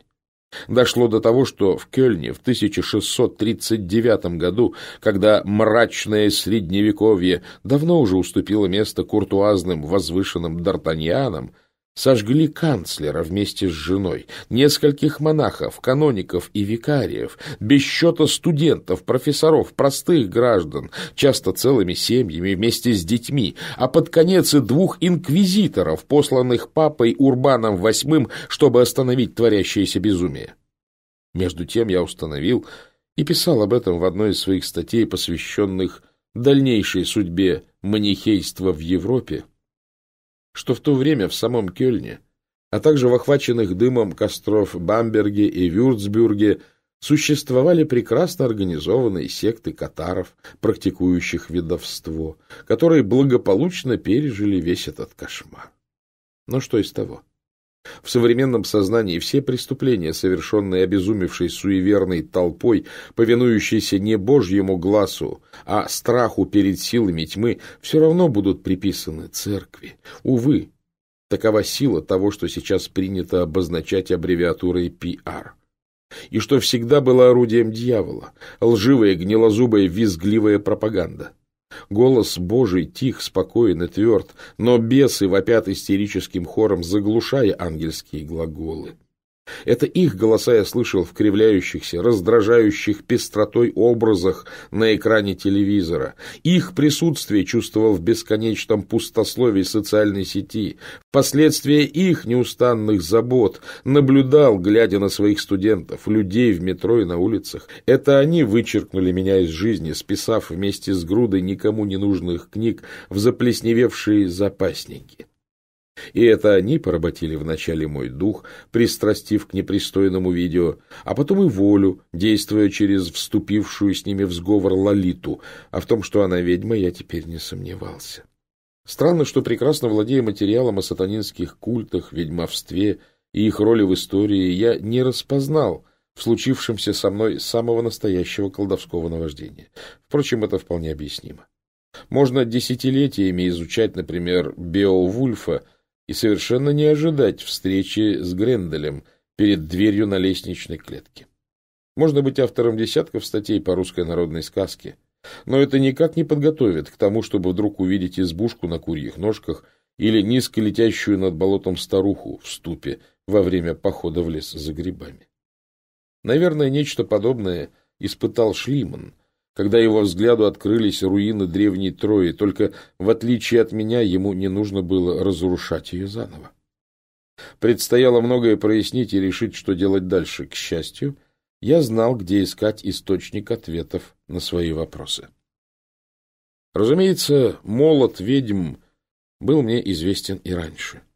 Интересная, но чрезвычайно унылая работа на богословские, метафизические и правовые темы – мнение о которой среди малоосведомленного большинства сформировано дурацкими списками типа «десять самых страшных книг» и туманными намеками на содержащиеся описания тысячи и одного способа пыток. Многие мои студенты, вдохновленные такими представлениями о книге, с воодушевлением брались за чтение, а потом разочарованно откладывали ее в сторону – не обнаружив ничего, что могло бы соперничать по степени страшного или кровавого с ежедневной лентой новостей. Сам я читал «Молот ведьм» достаточно давно, раз или два, исключительно в ознакомительных целях, и не нашел тогда для себя почти ничего интересного, кроме нескольких исторических и библиографических ссылок. Но сейчас я взглянул на эту книгу совсем по-другому. Город за окном затихал, погружаясь в ночь, полную неспокойных снов. Черные окна дома напротив, как пустые глазницы покойника, таращились в темноту, перечеркиваемую штрихами мокрого снега. Я не замечал времени и не читал, беседовал с преподобным инститорисом и деканом Шпренгером, делая пометки и выписывая цитаты. Итак, женщина скверна по своей природе так как она скорее сомневается и скорее отрицает веру, а это образует основу для занятий чародейством. Как из недостатка разума женщины скорее, чем мужчины отступаются от веры, так и из своих необычайных аффектов и страстей они более рьяно ищут, выдумывают и выполняют свою месть с помощью чар или иными способами. Нет поэтому ничего удивительного в том, что среди женщин так много ведьм. Женщина или любит, или ненавидит. Третьей возможности у нее нет. Если женщина думает в одиночестве, то она думает о злом. И вот как раз к случаю – Ведьмы могут возбуждать любовь мужчин до такой степени, что их не отвратить от этой пагубной страсти ни ударами, ни словами, что они чувствуют даже ненависть к своим законным женам, и что они темной ночью по пустынным дорогам бегут иногда к своим возлюбленным. Собственно, с ответом на вопрос, кто виноват, я и так уже определился. Книга только подтвердила мою догадку, снабдив превосходным фактическим материалом и теоретическим обоснованием. Очевидно, что случившееся со мной было явлением куда как не новым, хорошо известным, хотя и чрезвычайно прискорбным. Теперь предстояло разобраться с методикой оперативной защиты от колдовства. Про крестное знамение, святую воду и молитву я был, конечно, в курсе. Кроме этого, Шпренгер и Инститорис, основываясь, несомненно, на собственном опыте духовной брани и противостояния ведьмам, посоветовали следующее – для предохранения себя во всяком случае надлежит носить у себя на шее соль, освященную в вербное воскресенье, и освященные же травы, а также воск. Вам уже известно, эту рекомендацию я впоследствии применил на практике, как и многие другие проводить допросы ведьм в дни церковных праздников, когда сила споспешествующих им бесов ослабевает, раздевать догола и осматривать одежду на предмет скрытых в ней амулетов, сбривать им волосы в интимных местах, вводить в помещение спиной вперед. Впрочем, до всего этого тогда еще было далеко. Передо мной встал другой, вполне практический вопрос, где взять освященные соль, травы и воск. Я никогда не был особенно религиозен, да и не особенно тоже, вообще не был. Мой отец работал в ветеринарной лаборатории, мама была учителем истории, что отчасти объясняет ему интерес к этой области человеческих знаний и выбор жизненного пути. Но, разумеется, никакого религиозного воспитания в нормальной советской семье не было и быть не могло. Согласно неподтвержденной семейной легенде, крещен я все же был, Бабушка по материнской линии тайком от родителей или с их молчаливого согласия еще младенцем носила меня в православный храм где-то на окраине города. Собственно, этим и ограничилась короткая история моей практической церковной жизни. Я, как никто другой, могу рассказать кому угодно, да и рассказываю на лекциях, об определяющей роли церкви в становлении не только государственности, но всего человечества в том виде, в котором иногда предстает оно в лице лучших своих представителей. Собственно, ненависть к средневековью, которая является основным занятием рожденного Ренессансом секулярного сознания, вызвана прежде всего патологической неприязнью к церкви, определявшей ценностную парадигму того времени. Я убежден в этом не только как историк, но и как культуролог – даже, если угодно, как мистик, готовый отстаивать доктрину о том, что Дух Святой живет в церкви с момента ее основания Сыном Божиим и не перестанет жить в ней вовек. Я знаю, что благодать апостольского рукоположения не иссякает что любой священник даже самых сомнительных моральных качеств и духовной силы способен осветить воду и совершить литургию, во время которой происходит непостижимое таинство присуществления даров. Все так. Но, наблюдая за жизнью современной церкви, за ее служителями и архипастырями, я давно пришел к неутешительному выводу. Христово воинство лениво, разобщено и развращено до крайности, разбито без боя, обращено в пассивное бегство, взято в плен страстями и равнодушием. Нет праведного ни одного, нет ни единого. Есть только соглашательство с духом века сего и полумеры.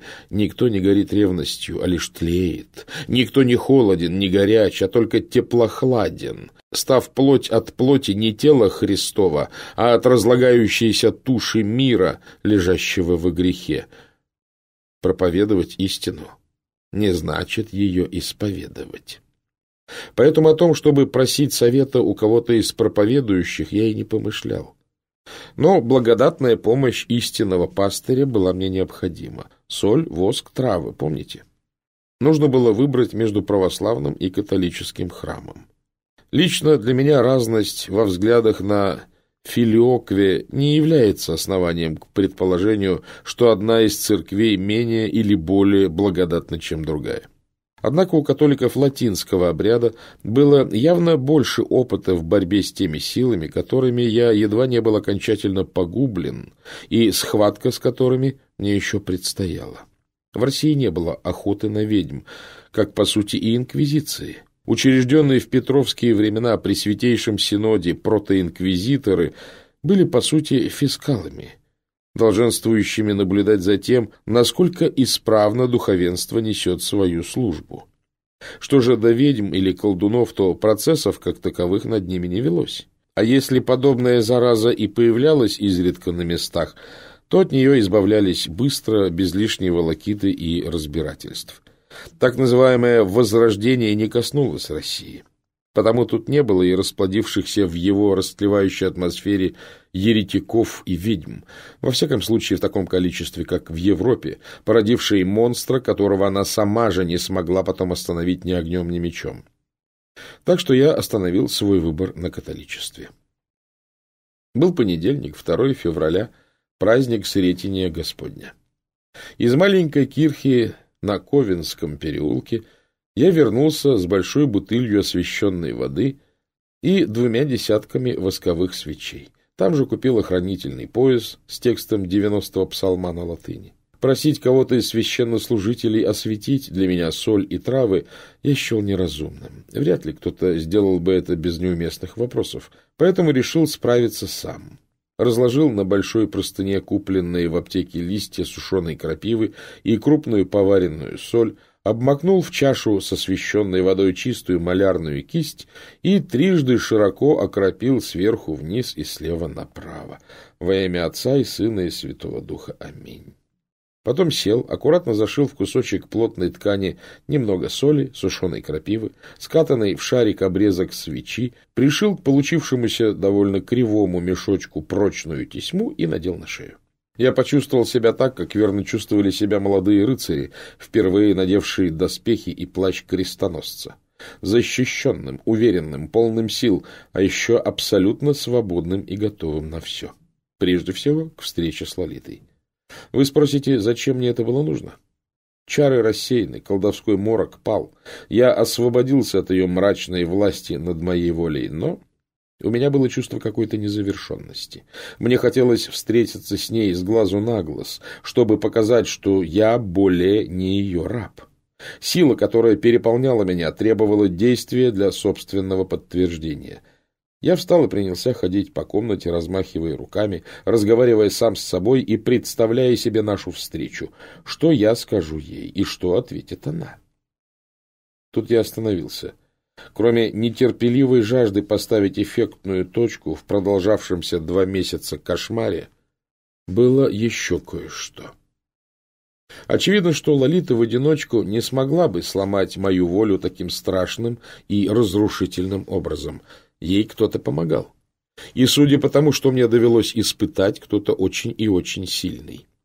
Знаний, которыми я отчасти располагал и раньше, а отчасти почерпнул в молоте ведьм, хватало, чтобы понять, я столкнулся не с одним и не с двумя противниками. Скорее всего, источником зловещего могущества Лолиты был целый ковен ведьм, обучивших ее колдовским приемам и трюкам. От осознания этого по телу пробежала дрожь страха, смешанного с возбуждением.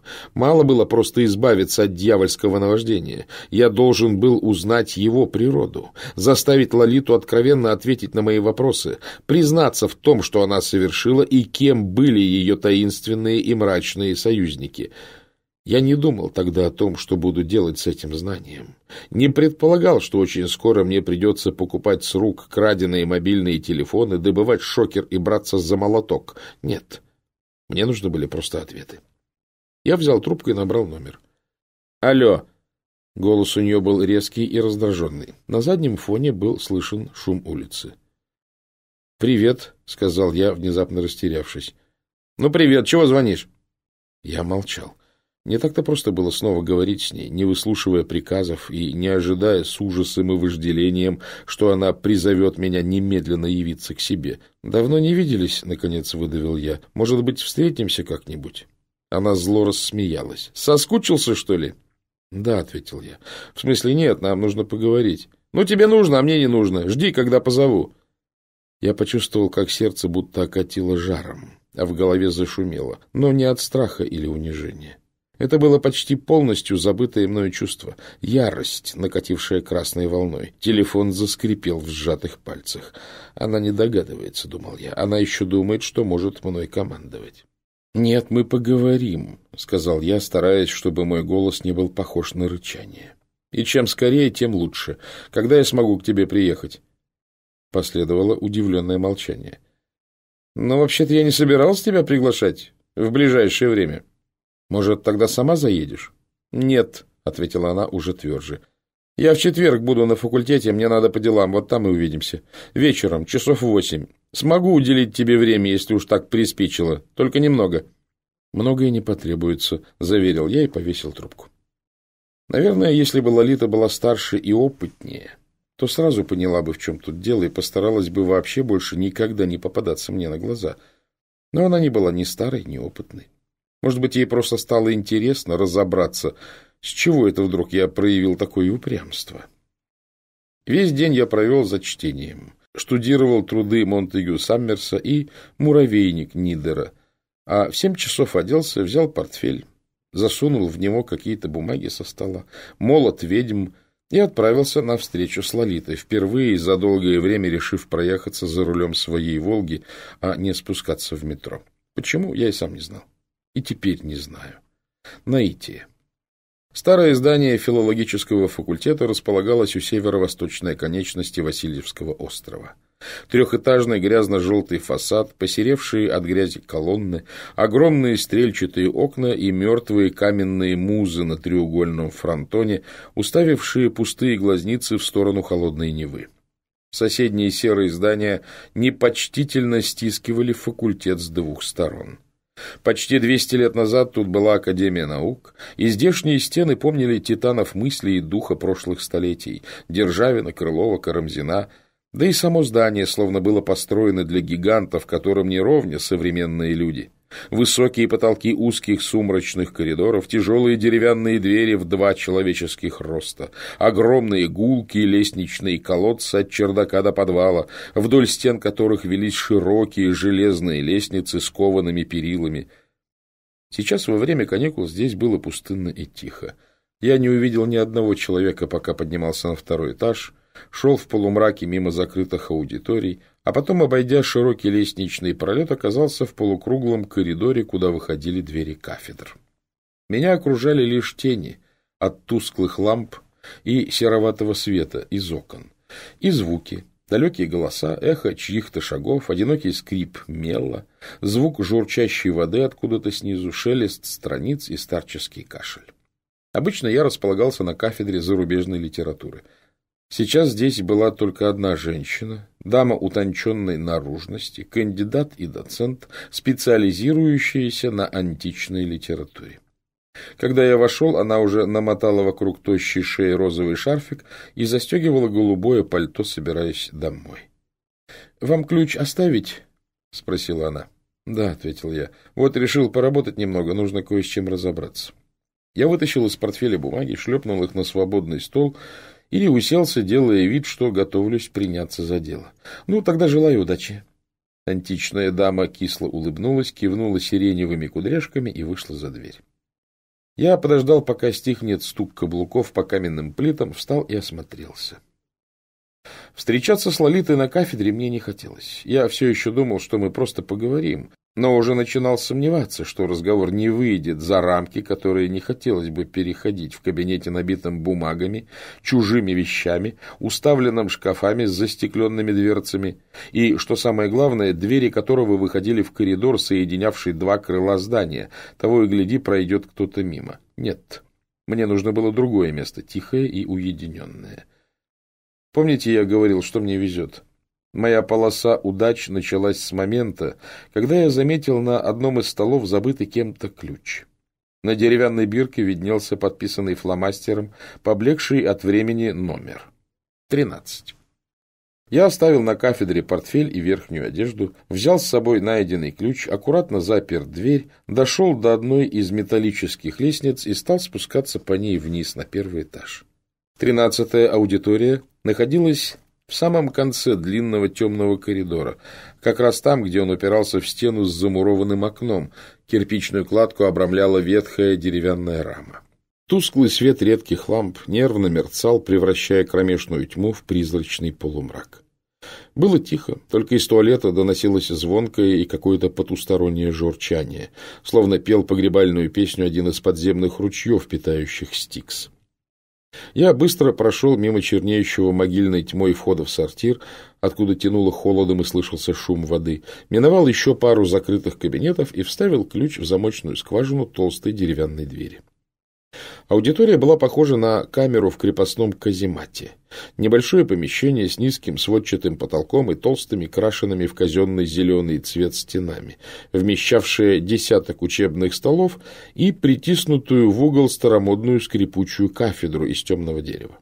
Два невысоких окна с толстыми решетками выходили во двор факультета и были расположены так низко, что если бы случайный прохожий решился в них заглянуть, ему пришлось бы согнуться чуть ли не пополам, да еще и протиснуться в угол между стеной основного корпуса и полукруглой пристройкой. В одной из окон было видно только растрескавшееся и осевшее в землю подножие заплесневевшей стены, а в другое я различил сквозь туманную морось колеса моей машины, припаркованной во дворе рядом с большим мусорным контейнером — в который свешивался с третьего этажа, где шел ремонт, широкий рукав из тусклого пластика, похожий на гигантский использованный презерватив. Я прошелся по деревянному полу из истоптанных широких досок, провел пальцем по древней кафедре, сел, достал телефон и написал короткое сообщение, всего из трех символов. Номер 13. Стрелки часов показывали половину восьмого. Ровно в восемь в коридоре зазвучали шаги.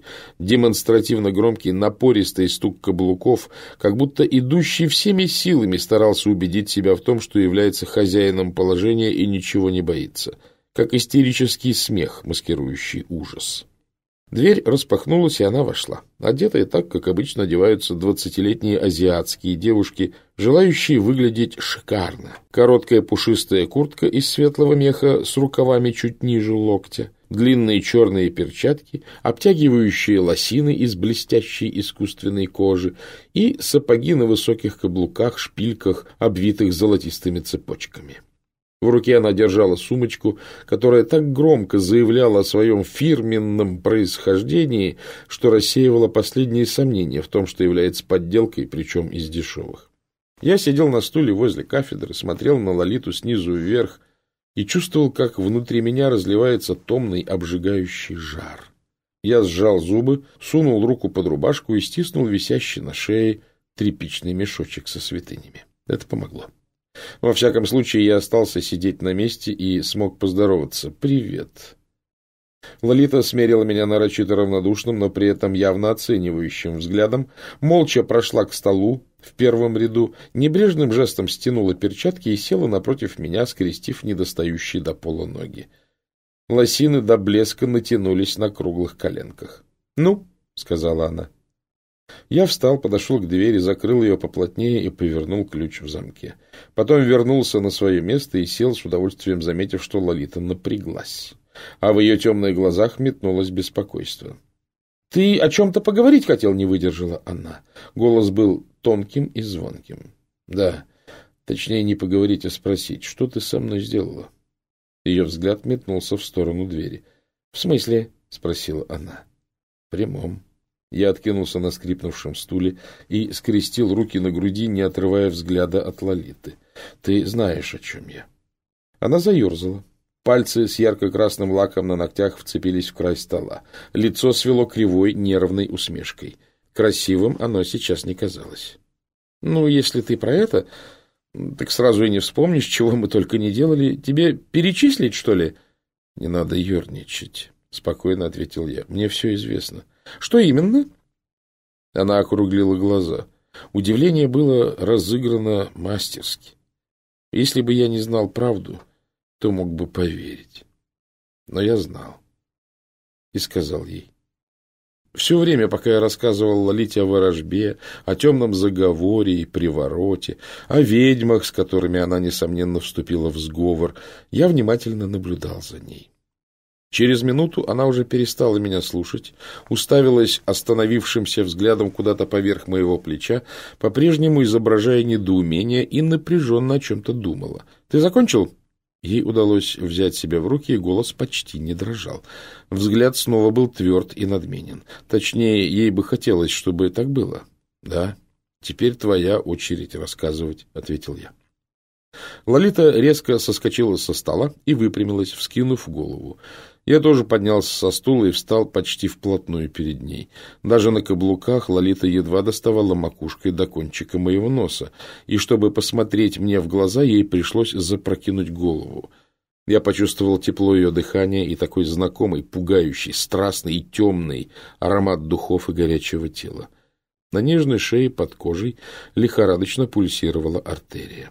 — Хватит дурить! — зло прошипела она. — Совсем спятил уже! Пусти меня, я пойду. Лолита подалась вперед и уткнулась носом мне в шею. Я не шелохнулся.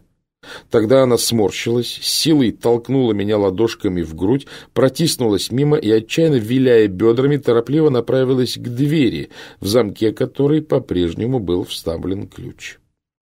Ей нужно было остаться и попробовать поговорить. Это могло бы сработать.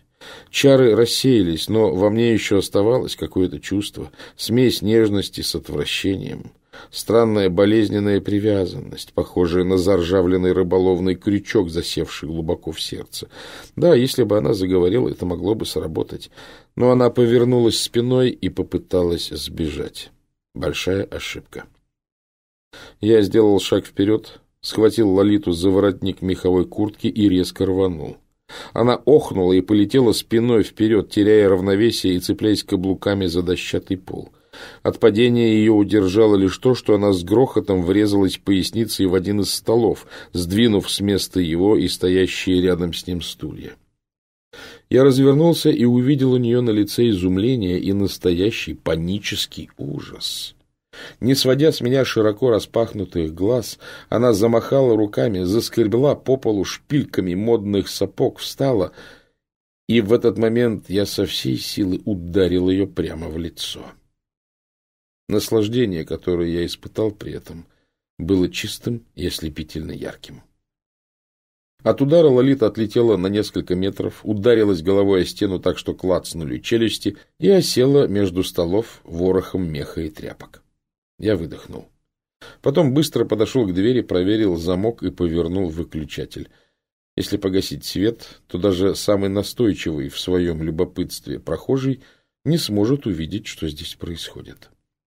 Все вокруг погрузилось во тьму, как в бредовое сновидение. Два окна тускло светились призрачно серым. Вокруг было тихо, даже журчание воды из черного мрака сортира не было слышно. Стараясь не натыкаться в темноте на столы, я подошел к лежащей Лолите, присел на корточки рядом и перевернул ее на спину. Под густым мехом куртки ее тело было совсем хрупким и подевичьи тонким. Глаза оставались закрыты, на бледной скуле расплывался чернильным пятном огромный кровоподтек. Я опустился на колени и сел на нее сверху, на бедра, не на грудь, не на живот, именно на бедра чтобы ненароком не вызвать удушье. Я еще думал, что все обойдется. Она застонала. Я легонько хлопнул ее по щеке, глаза все еще были закрыты. Я хлопнул ее по щеке еще раз, а потом уже врезал по-настоящему, звонко и сильно, так что голова резко мотнулась налево. Мне страшно хотелось ударить снова, но я знал, что если начну, то уже не смогу остановиться. А у меня еще были вопросы. «Очнись!» — прошептал я. «Давай, я знаю, что ты меня слышишь». Лолита открыла глаза. Слезы заблестели во тьме. Она всхлипнула и поднесла одну руку к лицу. «Больно!» — прошептала Лолита.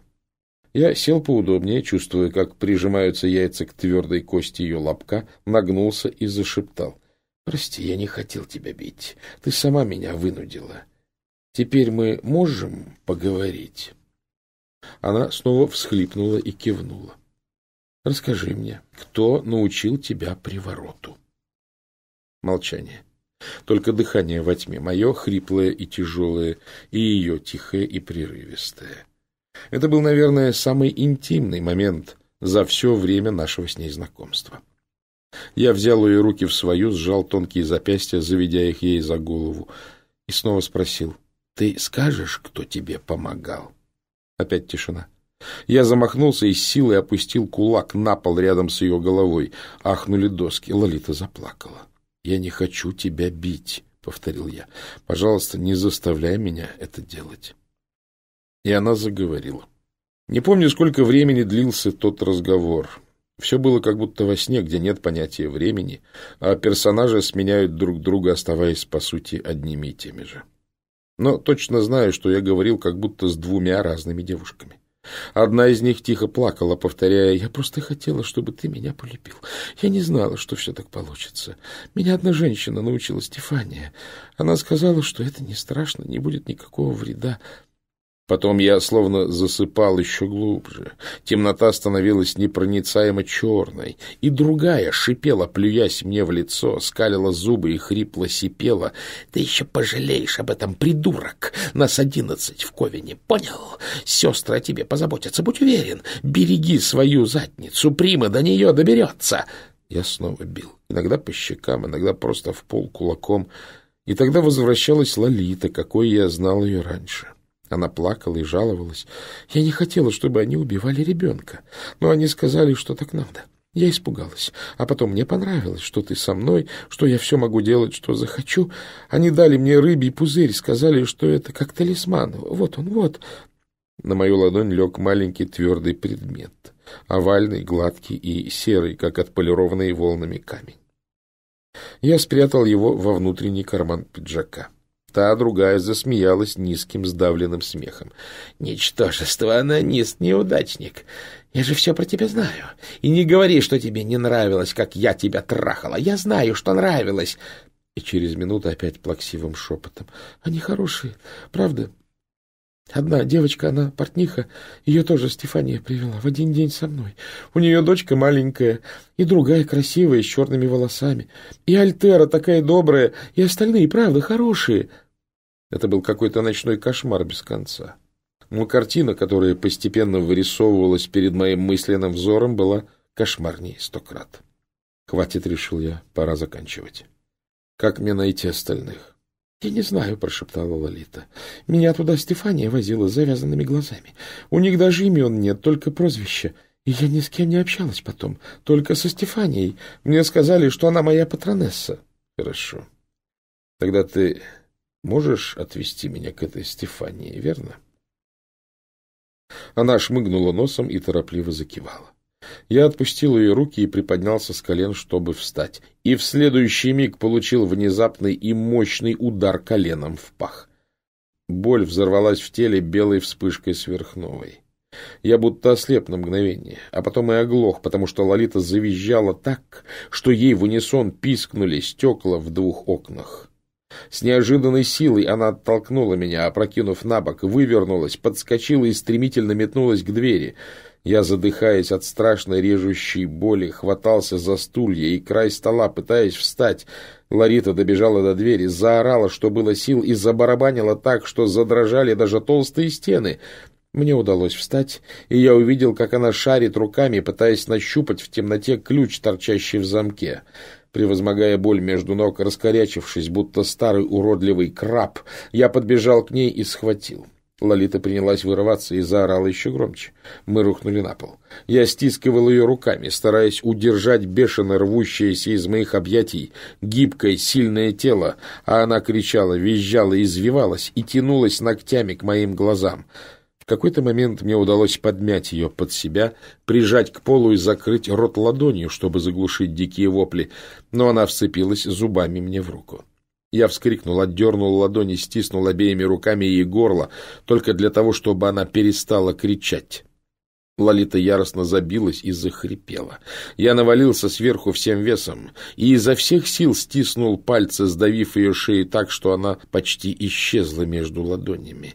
Хрипы стали тише, лицо надулось и потемнело, глаза закатились, но колени колотили мне по спине, а руки вцеплялись в запястье, пытаясь разжать смертельную хватку — я продолжал сжимать горло Лолиты, пока она не перестала хрипеть и сопротивляться. В какой-то миг я хотел убрать руки, но почувствовал, как под пальцами треснула подъязычная кость, и я понял, что уже поздно. Это только в кино человека душат руками быстро и просто. На деле это долго и неприятно. Кисти сводило от напряжения, а когда я все же решился их осторожно разжать, Тело Лолиты вдруг снова начало колотиться в конвульсиях, а руки и ноги принялись выбивать частую дробь по дощатому полу.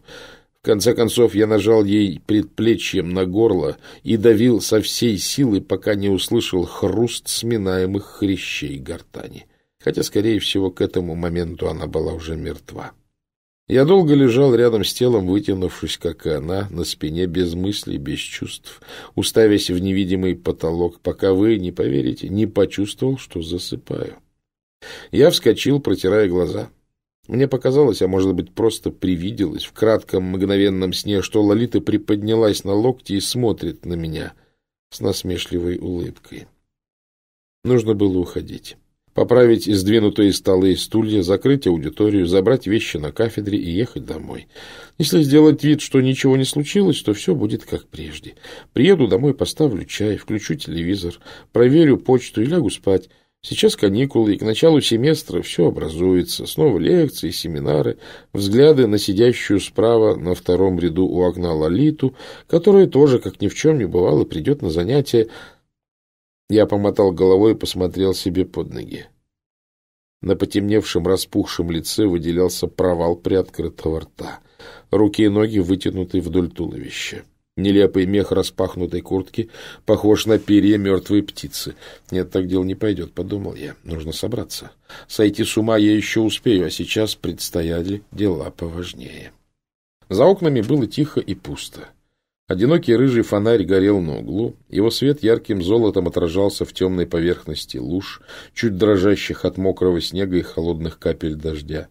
Стены с черными блестящими стеклами окон, Моя серая «Волга» — огромный мусорный бак с пятнами ржавчины под облупившейся синей краской. Никого. Можно рискнуть. Я включил свет и быстро осмотрел аудиторию. Пара столов сдвинута, один стул лежит на боку, но больше ничего, чтобы бросалось в глаза. Мне опять повезло, что Лолита не расшибла себе голову, когда врезалась в стену после удара в лицо, и что сам удар пришелся в скулу, а не в нос или губы, иначе повсюду была бы кровь. Я быстро поправил столы, поставил на место стул и снова выключил свет. Одной проблемой меньше. Но главный вопрос оставался открытым. Как быть с телом? Ясно, что труп нужно вынести из здания, но каким образом?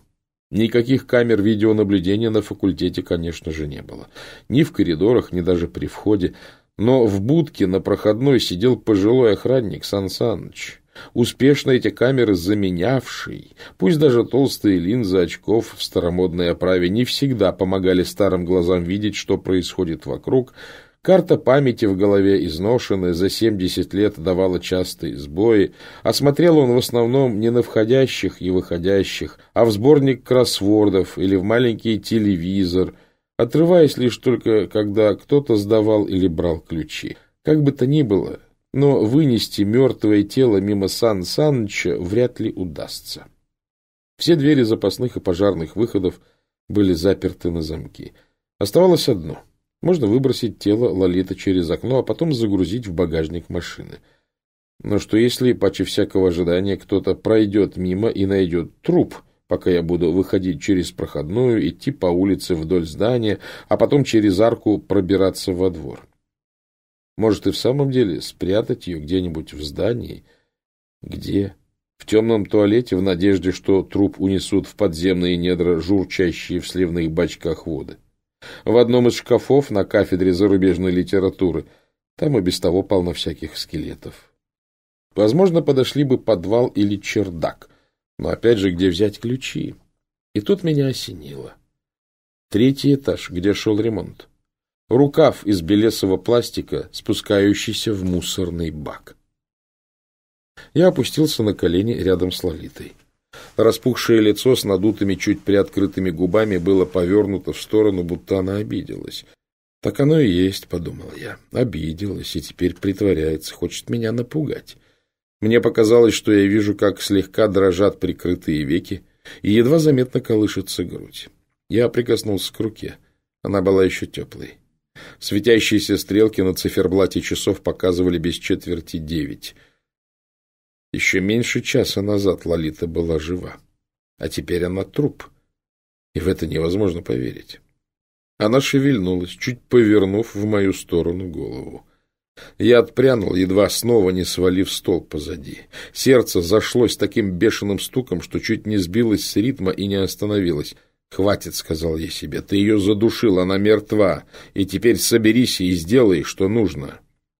После смерти тело совершенно расслаблено, и мне пришлось соскребать его с пола, путаясь в мехе распахнутой куртки. Кое-как я поднял Лолиту на руки и перехватил поудобнее. Даже после смерти она была не слишком тяжелой. Я подошел к двери и вспомнил, что она заперта. Ключ торчит в скважине, а руки у меня заняты. Пришлось осторожно уложить тело на стол и отпереть замок. Я приоткрыл дверь и осторожно выглянул наружу. В коридоре по-прежнему было пусто и тихо, только шумела на разные голоса вода в туалете, и лампы мигали неровными синеватыми вспышками, как инфернальные стробоскопы на дискотеке живых мертвецов. Свет одной такой вспышки упал сквозь приоткрытую дверь, и я увидел под одним из столов какой-то темный предмет. Та самая поддельная сумочка предательски притаилась во тьме, чтобы утром выдать меня с головой. Я поднял ее, проверил, не раскатилась ли из нее какая-нибудь женская мелочь, и положил Лолите на грудь. Сверху запахнул поплотнее куртку и как мог застегнул. Снова поднял тело на руки, вышел и резко остановился, задохнувшись от страха. В дальнем конце коридора, в самой темной его части, черным сгустком абсолютной, непроницаемой черноты виднелся силуэт человека. Если крики Лолиты доносились из аудитории номер 13, то вряд ли дальше, чем до выхода к лестнице. А значит, их некому было услышать. Во время каникул так поздно на факультете безлюдно, а охранник совершает обход в первый раз только перед тем, как закрыть на ночь двери, за час до полуночи. Но даже если бы сейчас было не девять, а одиннадцать вечера, не думаю, что Сан Саныч или кто угодно другой на его месте стал бы спускаться сюда в молчаливую, жутковатую темноту нижнего коридора. Я стоял неподвижно. Черный силуэт, чем бы он ни был, тоже не двигался с места. Я сделал шаг, другой. Ничего. Наверное, показалось, нервы. Я вышел к лестнице и зашагал по гулким железным ступеням, медленно поднимаясь все выше, мимо коридоров со сводчатыми потолками и больших стрельчатых окон, сквозь которые лился широким потоком мутноватый загадочный полусвет. Моя ноша покачивалась у меня на руках, голова запрокинулась, веки чуть приоткрылись, и в неверном свечении окон тускло блестели белки закатившихся глаз. «Подсматривает», — думал я, — «выжидает». Ремонт на верхнем этаже, судя по всему, вступил в свою последнюю стадию. Все стены были снесены, старые двери, помнившие прикосновение множества человеческих рук, и деревянные оконные рамы были свалены в угол, ожидая отправки на свалку, чтобы уступить место холодному белому пластику и металлу. В углах погребальными холмиками возвышались кучи еще не выброшенного строительного мусора. Было холодно. Ночной воздух проникал сквозь пленку, которой затянули оконные проемы, все кроме одного.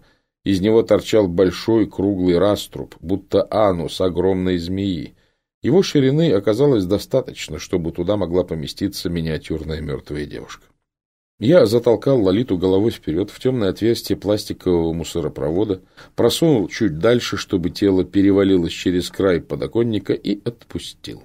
Раздался протяжный громкий шорох, эхом отозвавшийся среди голых каменных стен. Потом глухой мягкий удар, когда тело достигло контейнера со строительным мусором. И снова все стихло. Теперь нужно было уйти самому. Я постарался сосредоточиться и ничего не упустить.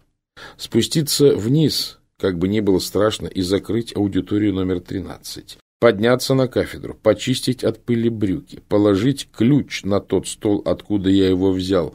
Если в тринадцатом кабинете все же остались какие-то улики, то ко мне они не будут иметь отношения.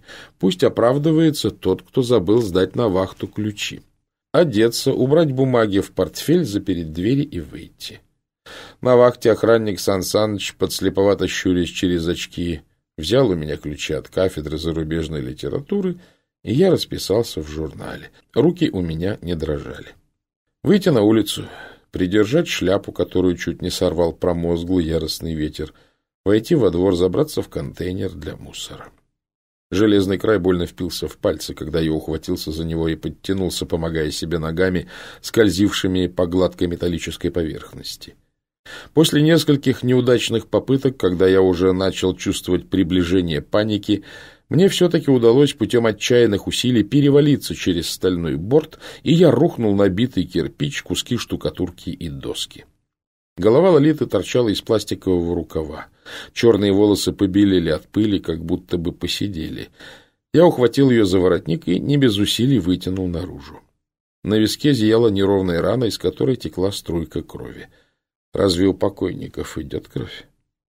Я посмотрел ей в лицо — оно как будто еще сильнее распухло. Багровая синева от удушья сливалась с темным кровоподтеком на левой скуле. Между приоткрытыми веками набилась мелкая грязь и серая цементная крошка. Мертвее некуда. Пока я возился в контейнере, то думал, что появись здесь все тот же гипотетический прохожий, можно будет сказаться бродягой, забившимся в мусорный бак в поисках чем поживиться — но теперь предстояло сделать то, что объяснить будет куда как труднее. Я подтащил тело Лолиты к краю контейнера, перевалил через него и скинул вниз, как раз между металлической стенкой и багажником моей «Волги». Она упала мягко, как мешок со старым тряпьем. Я огляделся. Окна факультета, окружавшие двор, как бесчисленные черные очи, были темными. Во дворе никаких любопытных прохожих. Непогода, холодный ветер и снег пополам с дождем загнали всех в теплые квартиры, подальше от душераздирающих сцен. Я кое-как слез, открыл багажник машины и погрузил туда труп. Гнусная сумочка снова выпала из-под застегнутой куртки, шлепнувшись в лужу между колесами, но я вовремя это заметил, поднял, открыл, достал оттуда мобильный, убрал его себе в карман, а сумочку сунул Лолите под бок. Захлопнул багажник. Все. Можно ехать. Я вырулил из двора, еще не вполне представляя себе, куда отвезу тело. Очевидно, мне нужен был лес. Я свернул к мосту, ведущему на Петроградскую сторону, и взял направление на север. Когда еще был жив отец моей, теперь уже практически бывшей жены, мы каждый год по нескольку раз ездили за грибами по трассе в сторону Приозерска. Этот маршрут был мне известен, а для поиска других вариантов сейчас было не лучшее время. По дороге я вытащил из кармана телефон Лолиты. Отметил попутно, что он новый и дорогой. Я открыл список последних звонков и набрал номер «Александр, ресторан». В трубке раздались гудки. Я ехал и думал, не этот ли ресторан «Александр» подарил ей ту трубку, с которой я сейчас звонил. «Алло!» — раздался хриплый мужской голос. То он был не очень приветливым. Я молчал. Мимо проносились машины, дома, огни какого-то клуба. «Алло!» — повторил мужчина в трубке. «Я не слышу тебя, алло! Ты меня слышишь?» «Пусть еще попытается». Я знал, что полиция обязательно проверит последние звонки с телефона Лолиты, и чем дольше неизвестный мужчина будет пытаться докричаться до девушки, труп которой, свернувшись в калачик, лежал у меня в багажнике, тем больше это будет похоже на разговор. Ресторан «Александр» помогал создать мое алиби. «Алло, ты меня слышишь? Черт!» Отбой. Я выключил телефон и убрал обратно в карман. Когда я свернул с шоссе на боковой, едва заметный проселок, время подходило к полуночи. В лесу лежал снег. Все вокруг было черным и белым, никаких оттенков и полутонов. Черное небо, деревья, непроницаемый мрак между ними и белый чистый покров. Я кружил по проселкам и тропам, пока, наконец, не решил, что пора остановиться. Насколько я мог судить, на несколько километров вокруг не было ни единого дома. А если и был, то вряд ли его обитатели решат совершить мацион в ненастную полночь. Я остановил машину и вышел. Фары неестественно ярко освещали деревья, уходящие в невидимое темное небо. Лолита лежала в багажнике, похожая на мертвого зверька. Мохнатая куртка, пыльные волосы, безжизненно согнутые конечности. Я вытащил ее из машины, взял на руки и понес. Морозная корка хрустела под ногами, проваливавшимися в рыхлый снег почти по колено. Я отнес тело метров на пятьдесят вглубь леса, бросил и вернулся обратно за лопатой. Подумал и прихватил канистру с бензином. Поболтал ее в руке, взвесил, чуть меньше трети. Подумал еще и снова полез в сумочку Лолиты. Я не курил, а она время от времени покуривала и рядом с плоской пачкой тонких сигарет я нашел зажигалку. Лопата в моей машине предназначалась для расчистки мест на парковке. Она справилась с верхним слоем рыхлого снега, веток, мелкого ссоры и прошлогодней листвы, но выкопать ею яму в промерзшем насквозь грунте было почти невозможно. Рубашка, пиджак и, кажется, даже пальто пропитались горячим потом, пока я выцарапывал в холодной твердой земле какое-то подобие неглубокой могилы, пока жесткий пластик лопаты не треснул, а черенок не погнулся. Я отшвырнул ее в сторону и повернулся к Лолите. Она лежала в шагах в трех от меня и терпеливо ждала. Я подтащил ее ближе и засунул в разрытую землю. Тело скрылось в яме едва ли до половины. Потом снял с шеи мешочек с солью, воском и травами, просунул ее голову через тещемку и засунул ей под одежду.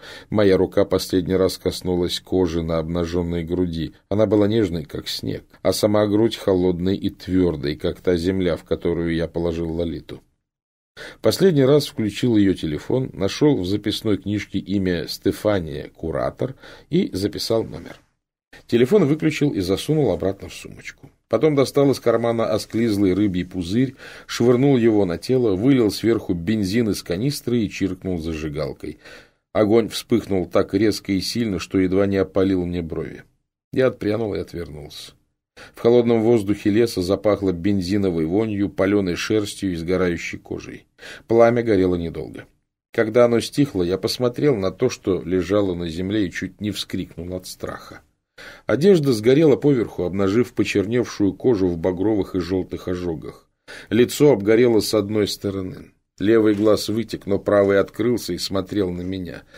Я не знаю, можно ли это объяснить с медицинской точки зрения, но так и было.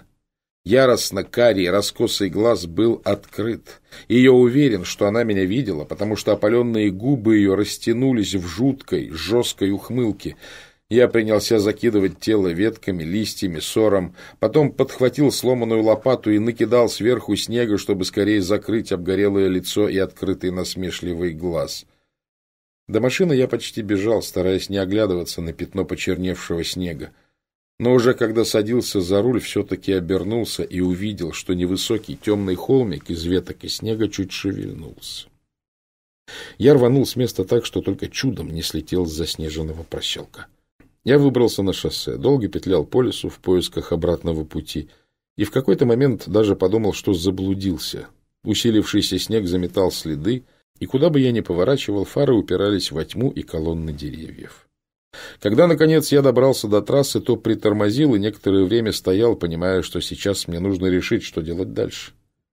Все, что было до этого момента, Вынос тела из здания факультета, звонок с телефона Лолиты, поездка в лес, рытье могилы являлось спонтанным проявлением рефлекса выживания, ответом на обстоятельства.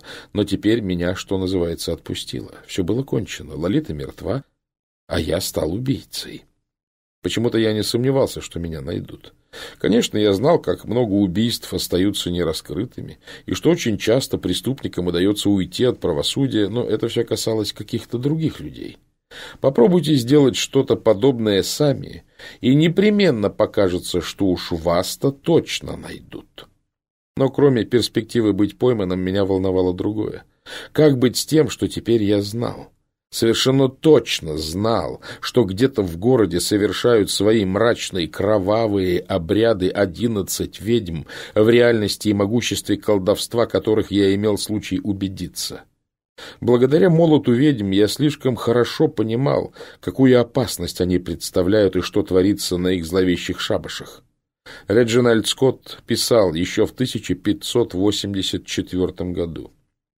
Можно считать твердо установленным, что каждые две недели или хотя бы каждый месяц любая ведьма должна убить ребенка.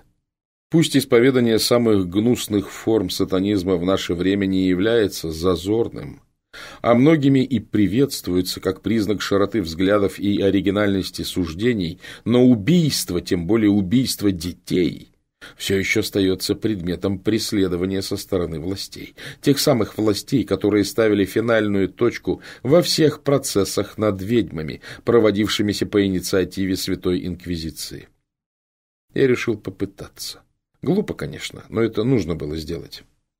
Поэтому, выехав на шоссе, я поехал не в город, а в сторону ближайшего поселка с административным центром, железнодорожной станцией, почтой, строительным гипермаркетом и отделением полиции. Дорога была пустой, и до места я доехал за полчаса. Полицейский участок располагался в унылом, как протокол, двухэтажном кирпичном здании с решетками на окнах, патрульным автомобилем на парковке и государственным флагом над входом. Можно было бы сказать, что трехцветное полотнище видало и лучшие времена, но это было не так. Лучших времен флаг не видал, был мокрым, грязным и печально вздрагивал под ударами ветра. Я остановился напротив небольшого крыльца, ведущего к входным дверям. Некоторое время сидел, собираясь с мыслями и духом, потом включил тусклую лампочку в салоне, открыл портфель и достал два листа бумаги и ручку. Чистых листов у меня не оказалось, так что писать пришлось на обратной стороне распечатки лекций по истории Кипрского королевства крестоносцев. Через четверть часа два заявления были готовы. Одним из них была подробно написанная явка с повинной. И видит Бог, я намеревался признаться в том, что совершил, если у меня примут другое заявление. В нем сообщал о Ковине из одиннадцати ведьм, ведущим деятельность на территории города и области, в ходе которой наносится вред здоровью и жизни граждан, а также совершаются ритуальные убийства детей, предположительно младенческого возраста. Я перечитал оба документа, сложил их пополам, сунул под пальто и вышел из машины, придерживая шляпу и прикрываясь от ветра и снега с дождем. За металлическими двойными дверями оказался квадратный серый холл с низким потолком, тусклым светом и столом с двумя стульями. Слева и справа были закрытые двери, а прямо напротив похожий на аквариум пост дежурного, закрытый толстым стеклом в половину стены, испачканным полустертыми трафаретными надписями. Пахло казенным учреждением, в котором не рады гостям. Я подошел к окошку в стеклянной стене. Сидящий за низкой стойкой полицейский молча посмотрел на меня. Он был молод, но глаза смотрели с усталым цинизмом пожившего человека. «Здравствуйте», — сказал я. Дежурный молча смотрел.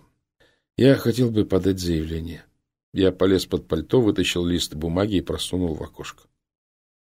Полицейский бегло пробежал взглядом первые строчки еще раз пристально посмотрел на меня и стал читать дальше, как мне показалось, уже гораздо внимательнее. Я ждал. Он дочитал, аккуратно сложил лист пополам и потянулся вправо к кнопке селектора. «Мужчина, алкогольные напитки употребляли сегодня?» Резко просипело из динамика у меня над духом. «Нет», — ответил я, не зная, куда говорить, и на всякий случай повторил в динамик. «Нет, не употреблял». Взгляд полицейского оценивающе коснулся моей шляпы, остановился на лице, прошелся по одежде. Я занервничал и поправил воротник белой рубашки. Дежурный покачал головой, просунул обратно листок с заявлением, и из динамиков снова заскрипело. «Идите домой, не мешайте работать!» В какой-то момент я подумал, что все-таки нужно отдать ему явку с повинной. Тогда бы я точно привлек его внимание. Тогда бы меня стали слушать.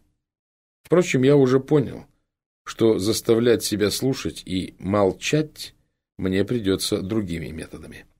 Я молча взял свое заявление, повернулся и вышел. Стоя на крыльце, порвал оба документа и выбросил их тут же в урну у самой двери. Мне стало легче от того, что я не переложил ни на кого другого ту миссию, которую предстояло исполнить мне и только мне. Как будто поставил последнюю точку, выполнил необходимую формальность, после которой уже мог начать действовать. Что делать, если видишь зло, которое никто не замечает и не хочет замечать, ибо зло стало нормой? Если, подобно несчастному Алонсу Кихано, видишь гибельных великанов там, где все видят лишь привычные глазу мельницы? Если не можешь обратиться к властям, чей первейший долг защищать общество от преступлений, но которые бездействуют перед лицом самых ужасающих из всех мыслимых злодеяний, выход тут только один – самому стать преступником, палачом, монстром в глазах смертельно больного общества, чьи гнойные раны вскрываешь, прижигая очищающим пламенем, чьи чумные бубоны срезаешь с болью и кровью, сжимая в руке вместо скальпеля окровавленный меч. Апостол Павел говорил, «Мудрость мира сего есть безумие перед Богом». И также точно высшая мудрость, безумие в глазах нынешнего века – а подвиг преступления. Последний солдат разбитой армии. Партизан-одиночка на территории, оккупированной так давно, что ее граждане уже забыли времена своей доблести и свободы. Единственный зрячий среди тысяч слепцов, танцующих на краю пропасти, под визгливые дудки новых крысоловов. Я знал, что должен делать. Зло, случающееся с отдельными особями, например, повешение вора, или закалывание какого-нибудь животного для человеческого питания не совершается в ущерб совокупности особей, а помогает людям сохранить жизнь и пребывать в благоприятных условиях жизни. Таким образом, и для Вселенной происходит отсюда добро. Для того, чтобы виды сохранились на Земле, уничтожение отдельных особей является подчас необходимым. Яков Шпренгер, Генрих Инститорис, молот ведьм. На сегодняшний день таких особей на моем счету три, и я не собираюсь останавливаться на достигнутом. С полицейскими я снова встретился в понедельник. Двое оперативников пришли на факультет с закономерными вопросами о Лолите. Когда я ее последний раз видел, сколько мы провели времени вместе, чем занимались, не говорила ли она о том, куда пойдет после занятий, обычная процедура, к которой я был готов, причем гораздо лучше, чем требовалось. Никто не спросил, например, почему она так часто звонила мне почти два месяца подряд, в том числе среди ночи, не показывал фотографий моей «Волги» с камер видеонаблюдения на шоссе, проницательно щурясь, не интересовался причинами моего разрыва с женой. У полицейских явно было уже свое видение этой истории, и я в ней был лишь временной или пространственной вехой, мимо которой Лолита прошла перед тем, как кануть в небытие. Я ответил, что последний раз видел ее вечером четверга, и это вполне всех устроило. А через несколько дней я снова встретил Лолиту. Она смотрела на меня с листовки, приклеенной на павильон автобусной остановки. Пропала, розыск. И знаете что? Выражение ее лица на той фотографии было точно таким же, какое я видел на лице обгорелого трупа в лесу, смесь насмешки и обещания. «Ты задушил меня, ты сжег меня, ты закопал меня.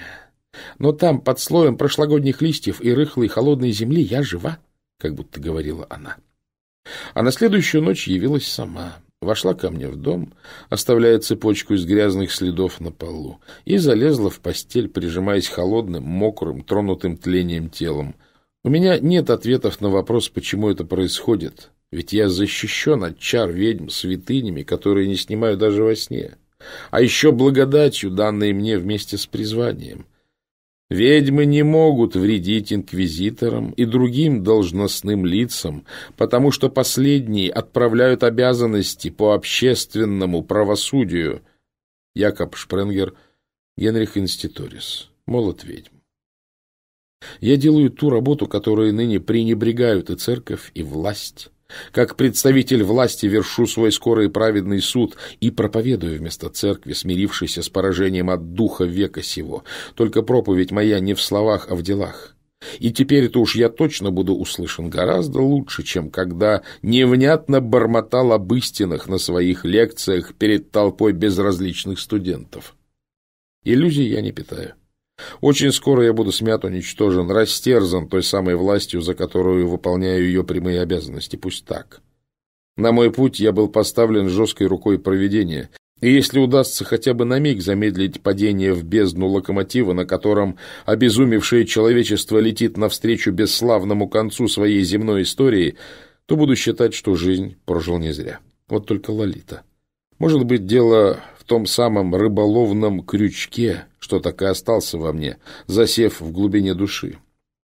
Может быть, это мое наказание, епитимия, которую должно нести ради собственного блага, ибо никто, творящий усердно плотский грех, по прошествии срока телесной жизни Христа, а именно после 33 лет жизни, не может получить отпущение этого греха, кроме как по особой милости Создателя. Якоб Шпренгер, Генрих Инститорис, молот ведьм. А я такие грехи творил на исходе пятого десятка своих земных лет и более чем усердно. Знаю только, что испытал неистовый, ни с чем не сравнимый ужас, когда Лолита пришла в первый раз, а теперь даже жду, когда среди ночи звонко щелкнет замок на входной двери. По скриптам. Пока я писал эти заметки, лента новостей в социальной сети порадовала интересным известием. Издательство, отвергнувшее мою апологию средневековья с загадочной формулировкой «не формат», проводит в центральном магазине сети «Литерофак» встречу с некой Викторией Камской, отрекомендованной как социальный психолог, автор программ по личностному росту и писательница – известная своими бестселлерами «Игра по твоим правилам», «Рецепты чужого несчастья» и «Будешь счастливый». В рамках встречи была обещана презентация нового масштабного творения госпожи Камской «Эра Иштар».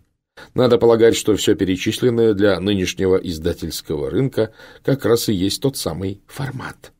Начало сего действа назначено в 19.00. Я, пожалуй, схожу.